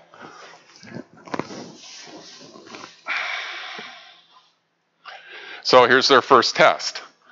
Uh, 20 trigger factor, press enter. Uh, calibrate, press enter. 5 trigger factor, press enter. And calibrate, press enter. So what this is doing, it's setting up, remember I talked about the, the hysteresis of the, of the LEDs? So it's setting up wider or tighter. So the tighter you make it, the further away he sees. But then he starts getting nervous because he's starting to get some random hits. There's not enough hysteresis. It's kind of funny. You, you set that, and he can sit there and it's like a nervous. um, the kids, you know, had a lot of fun with this. It was a cool, a cool robot that was intelligent, and they're writing simple programs and making it work. Uh, we actually got bumped by Logo later on in the decade, Yeah. and their robots were stupid. but you know, what can I say? Logo is basically to draw stuff. Oh, originally it was to draw stuff, but that's what um, uh, Legos used. Yeah. So we got bumped by Legos, which they, what are the kids? They're playing with blocks, and and they're making a robot. They're basically doing basic, real simple programming. You know, this they're working with an artificial creature. You know, they thought this was really cool. Yeah. Yeah, and they were learning about the future of robotics. You know, we're going to have intelligent robots, which we have pretty smart robots today. So how did, uh, have you built any, uh, like, memory into this, meaning that, you know, if you look at a, like a Roomba, right? It, everybody knows that it's, it's, it takes the entire chart of the house, right? It's- No, it's stupid. Well, No, no, no, I know it is, but Maybe maybe the new one isn't, but The new one is basically mapped the entire house, right? So literally. and how many years did it take that? you know, it's just another data point that, you know, everybody knows has a Roomba, they, that they know exactly what the layout of the house looks like, know, you know, what's, you know, in all the obstacles that are in there.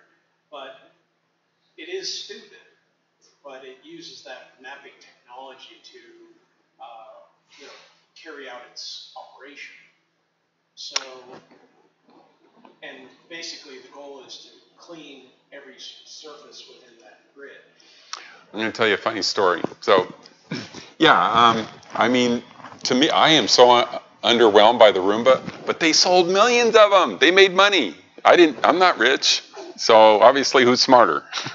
but I, I, funny story. So, uh, I get whiskers going, and I go, is there something I can make this thing do that's actually useful? And I get this Black & Decker 12 volt vacuum for a car. And I mount it on the tail, and I'll put a little pivot point on it, and I let it run around, and I go, that's, that, that's not any good. I did that. Which is what the Roomba did when it first came out. I did that in like 93 or 94, and I said, I said, you know, I really need to do a good job, I need to have a compass or I need some way to make it go like this. Anyway, what, kind of what happens when engineers look at stuff sometimes. You know, marketeers look at that and say, "Oh, it's it's fun. People love it." So, uh, when when it when Whiskers boots up, obviously, okay, you know that's familiar they're in Forth. You know, they can do they can play with all the Forth was there. They're, we didn't limit it, any access to Forth. So it was pretty powerful, really. And so we had them. These are the words they're going to learn the, this next uh, next thing. So they're going to learn these words, um, and then step by step. Type in forward, enter, and they they have it on books, and the wheels go forward. So they're learning the words in the beginning here that they have available for programming. Um, yeah, so reverse direction actually basically reverses whatever direction it's going. So it's going forward, it'll go backwards. If it's doing a left pivot, it'll do a right pivot. What it just inverts the bits to the motor mask, basically. So they're learning this stuff. and they type forward three, th- three seconds stop. We also have feet, you know, forward one foot. You know, it's not perfect foot, but um, but that's you know how we want to talk to our robots, right? So here's the first exercise. They type in default instincts, which means collision avoidance. They type forward, and they put the robot on the ground, and it does collision avoidance. So, you know, that's the very first task that they're doing. So it kind of gets them excited about working with the robot. Exactly. So put them on the books again. So here's the second one teaching Whiskers new words. that looks familiar, doesn't it? Yep. So they're learning Forth. The very, the very second. So each one of these is designed for an hour. So this is hour two. They're learning how to define words in Forth. And so they're learning some new words that Whiskers knows. Uh, remember, um, so Whiskers has uh, the entire code fits on a 32K PROM, but we have 32K of battery backed up RAM. And I literally use the battery. So when you turn the robot off, it's battery backing the RAM. So I always tell the users to leave it plugged in because it's consuming power even when it's off. But what Remember does is anything you downloaded to the robot, if you say remember and turn it off, you turn it on again, it's back in the same state. All the words that you taught it, you know, it remembers it, right? Remember, uh, using the name Forth in the curriculum? Did you ever mention, mention the name Forth? I don't, I don't think we did. But if you typed in Forth, it would say, uh, you know, New Micros. Yeah, um, stuck it in there. Like go forth. yeah. You didn't, you never mentioned the word Forth, you just said. Um, you know, that was during the time when Forth and C were competing for embedded systems. And um, I didn't want to get in the battle, the war, necessarily. I tell you the truth, I didn't really think about it too much. Um, I was trying to promote that it was English, you know, an English syntax. Yeah, I, I, I'm a C programmer. I make a living, unfortunately, but I mean, no, fortunately for the living, but unfortunately for the language. So then they learn about words, right? And they see the words that he knows. So they're learning Forth. um, so I'm teaching them the basics of defining, uh, you know, using Forth to define a new word. So they define this word. They type in words and look, oh boy, there's move at the top. You know, it's all Forth. And then they type in move enter and then they see it go and wow, that's cool. You know, I just programmed the robot. But you know what? They tell it to go forward with the instincts on, it does collision avoidance automatically. You know, did Logo do that? I mean, um, Lego? Nope.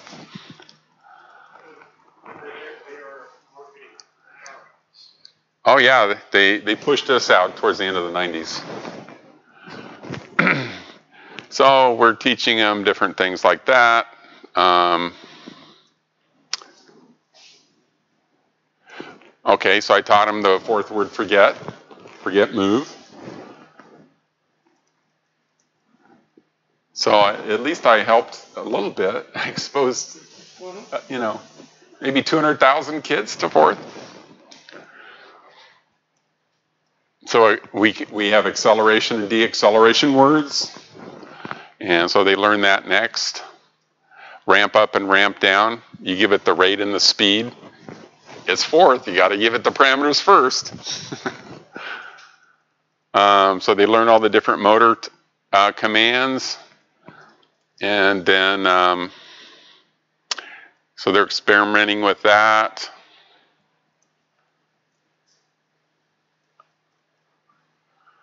So this is getting them, you know, familiar with uh, the language. And you'll notice I kept it as English-like as possible. There they go programming again.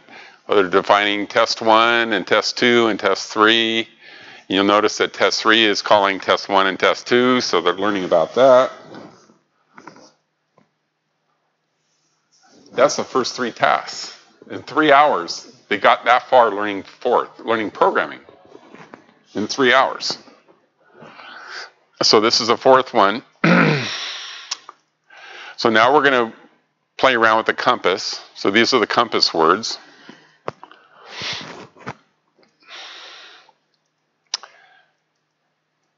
Okay, so remember trigger factor is sets all, all at the same value. So we're going to define a word called blind and basically make it so far that, you know, Whiskers is blind, he can't see. Um, then we define a word called avoid, real simple. And you type in blind. And now we're going to play around with pivoting. Here again, we got some some more. I said, you know, I mean, with Forth, you know, you one letter word, right? You want to just do L and R on the keyboard. So they show them how to do that. You see, there's a remember at the bottom. So when they turn the robot off, it will remember those words. so we're playing around with the pivots command uh, and this task. So they're adjusting for turns. Let's see. I kind of go. So the so now they they need to write a program to make Whiskers because they've learned enough now to go out. It's called. I wanted I want them to call it Get Coke. So it goes out, does a 180 and comes back, and that's their test. so they're they're Forth programmers. Everybody took this this course. okay, pivots and turns. So we're going to learn those words now. That's these guys.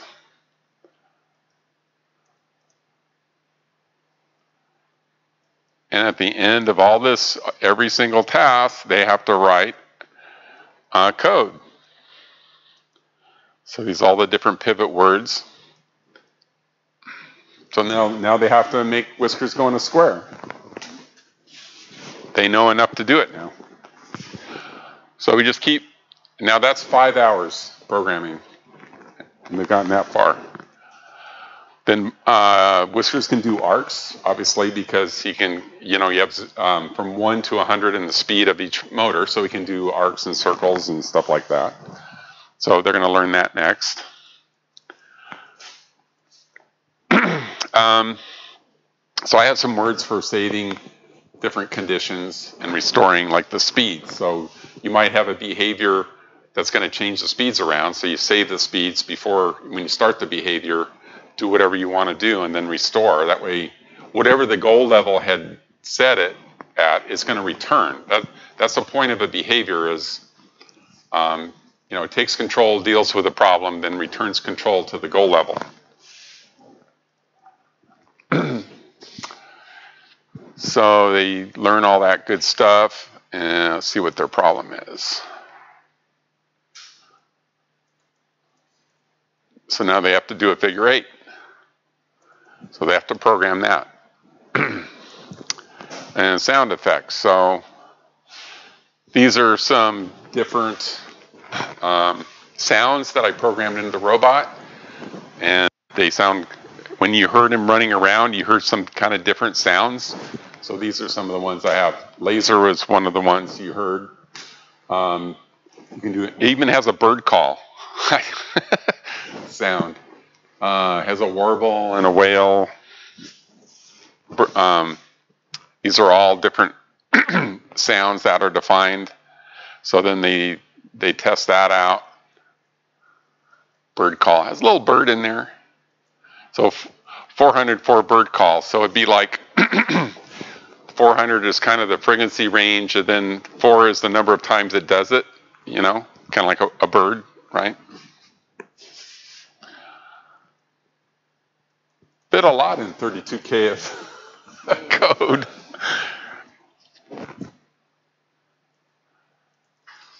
Okay, so now they're gonna they're gonna define a word called sound off, and they're gonna use the sound to make the box. So they're gonna give it a direction, and then they're gonna use the sound, and that's the distance, because when it's when it's making a sound, of course, the processor's that's all it's doing, except for the background task. and uh, so that way you a leg of the squares could be one sound, another leg a different sound, and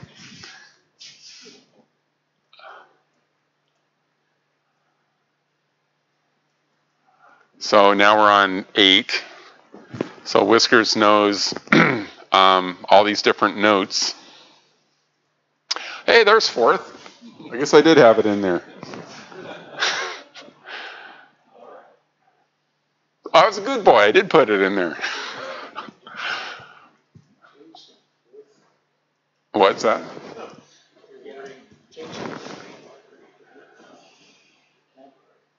Yeah, I called it vocabulary, right? This, uh, Yeah, vocabulary. So is this uh, tutorial collection, is that um, available online somewhere? Uh, I'll, I'll make it available. I, I have PDF. Um, Send it to me. I could the state That- website, yeah. the email about the meeting, the same one, because I actually sent. I sent. you know my email, send me a message, and I'll. Okay. Today, I'll send you Dave's, I'll CC you when I send it to Dave, and then you'll have Dave's address, my address, and we'll all happily ever after. Okay, I, yeah, I'll have to check to make sure I have your personal email. I I sent you. Support there at Comcast.net, how hard could it be? It's on the agenda page. Hey, I just turned 65. You want me to remember something? No. No, you got to and ask Google, when is the next You're just big meeting? It will take you to the agenda page, and my email address is on the agenda page. Oh, okay, all right. So, actually, so thanks to Dr. Kenneth Butterfield, you know, uh, the music is correct. so we have one eighth notes, quarter notes, three eighths, one half. I wouldn't know one if I fell over it, so that's all him. I'm not a musician. So, um, so here's some.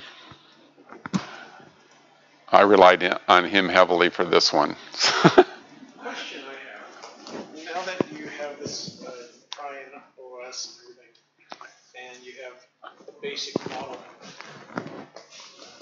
where can we take it from there? I mean, do you have any aspirations of, uh, you know, uh, you know, like if you look at Tesla, right? Tesla has to be hooked up to a huge amount of data.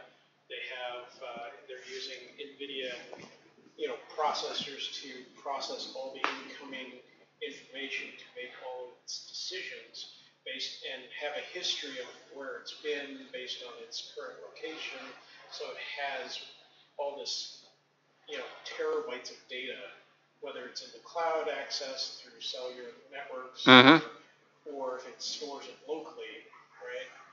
I mean, if you compare, let's say, a car to your processing, where it's more adaptive to the conditions that are in there versus, you know, more history-based. Mhm. I mean, how, how can you, you know, integrate that into, let's say, you know, a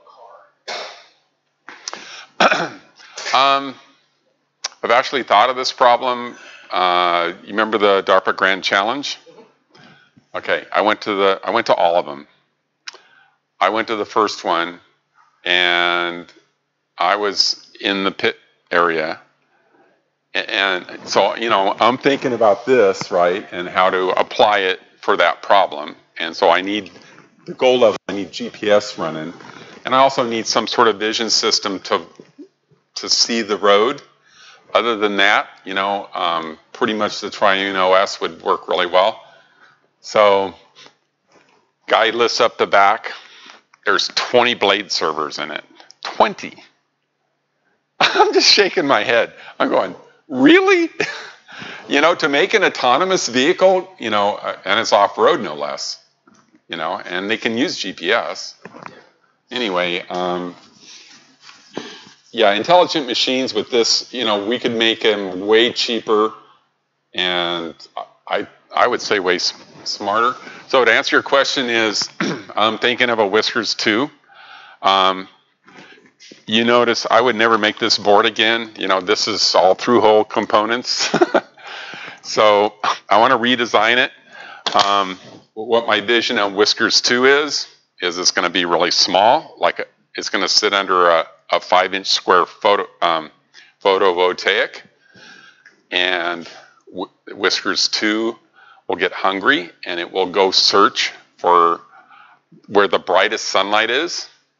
So it'll make some noises that it's not happy and it will go off and it will find the brightest window and it will sit there for a few hours. When it comes back, it'll be all happy and, then it would have a PIR sensor, you know, to find people and want to go play. So um, I do want to, you know, continue on with this. Um, I started a company called Solar Power Corp because I really believe solar energy is the way to go, and I want to help in that endeavor. Um, but I want to get Solar Power Corp, Corp going and making money, and then I'll spend the rest of my life in robotics. But you know, right now the barrier to entry, you know, with iRobot and all the everybody else, Boston Robotics, I mean, they're making some pretty incredible stuff. It's really expensive, really pricey. But um, so, you know, back when I was doing it, uh, it was really new. And I was hoping to get a foothold, but the recession of 2000, and then you had the 9 11 attacks, and uh, I, I couldn't get a foothold, and I had to go get a job. I had to shut down Andrews Research. Very sad day. Does it, does this one cost? To manufacture, to sell. What I sold them for?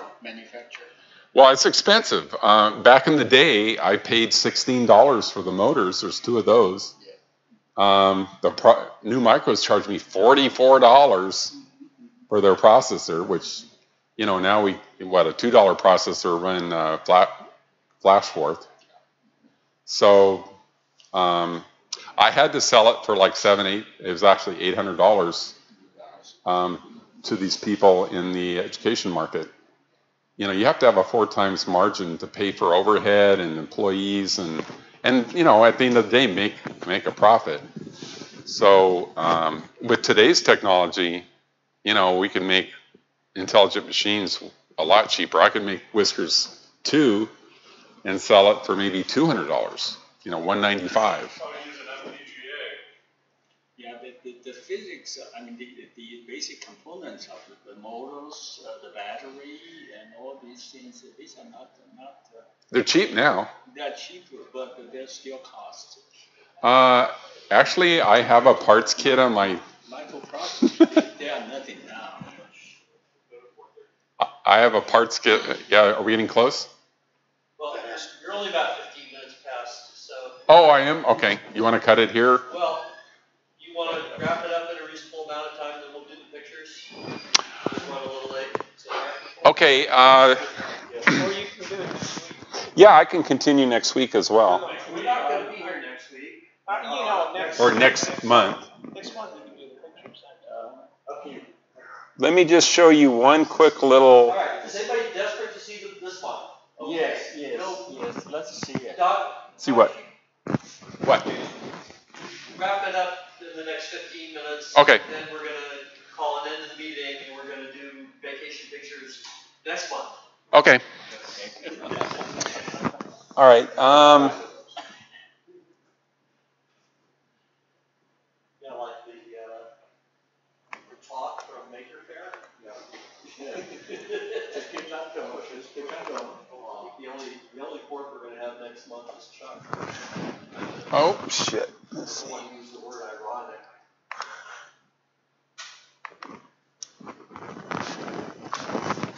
So this is a short.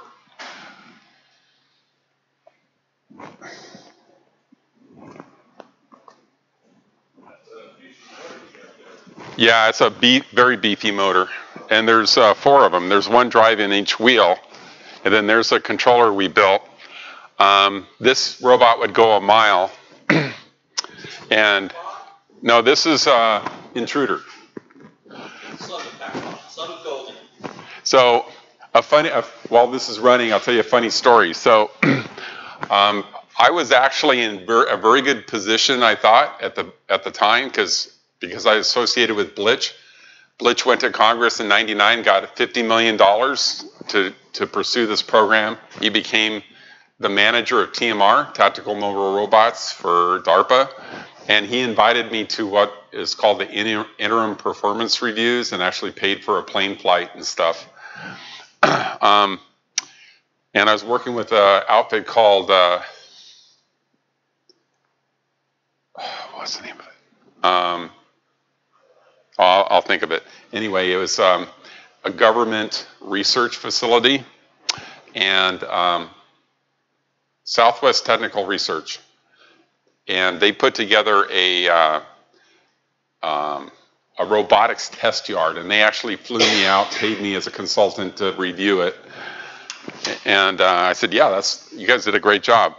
Anyway, they called me up one day and said, uh, "We want to order an intruder." And how much is it? Twenty-five grand. And it cost me twenty-five hundred dollars, I think, to make it. Wish I could have sold more. Anyway, uh, okay, took the PO, shipped them off the robot.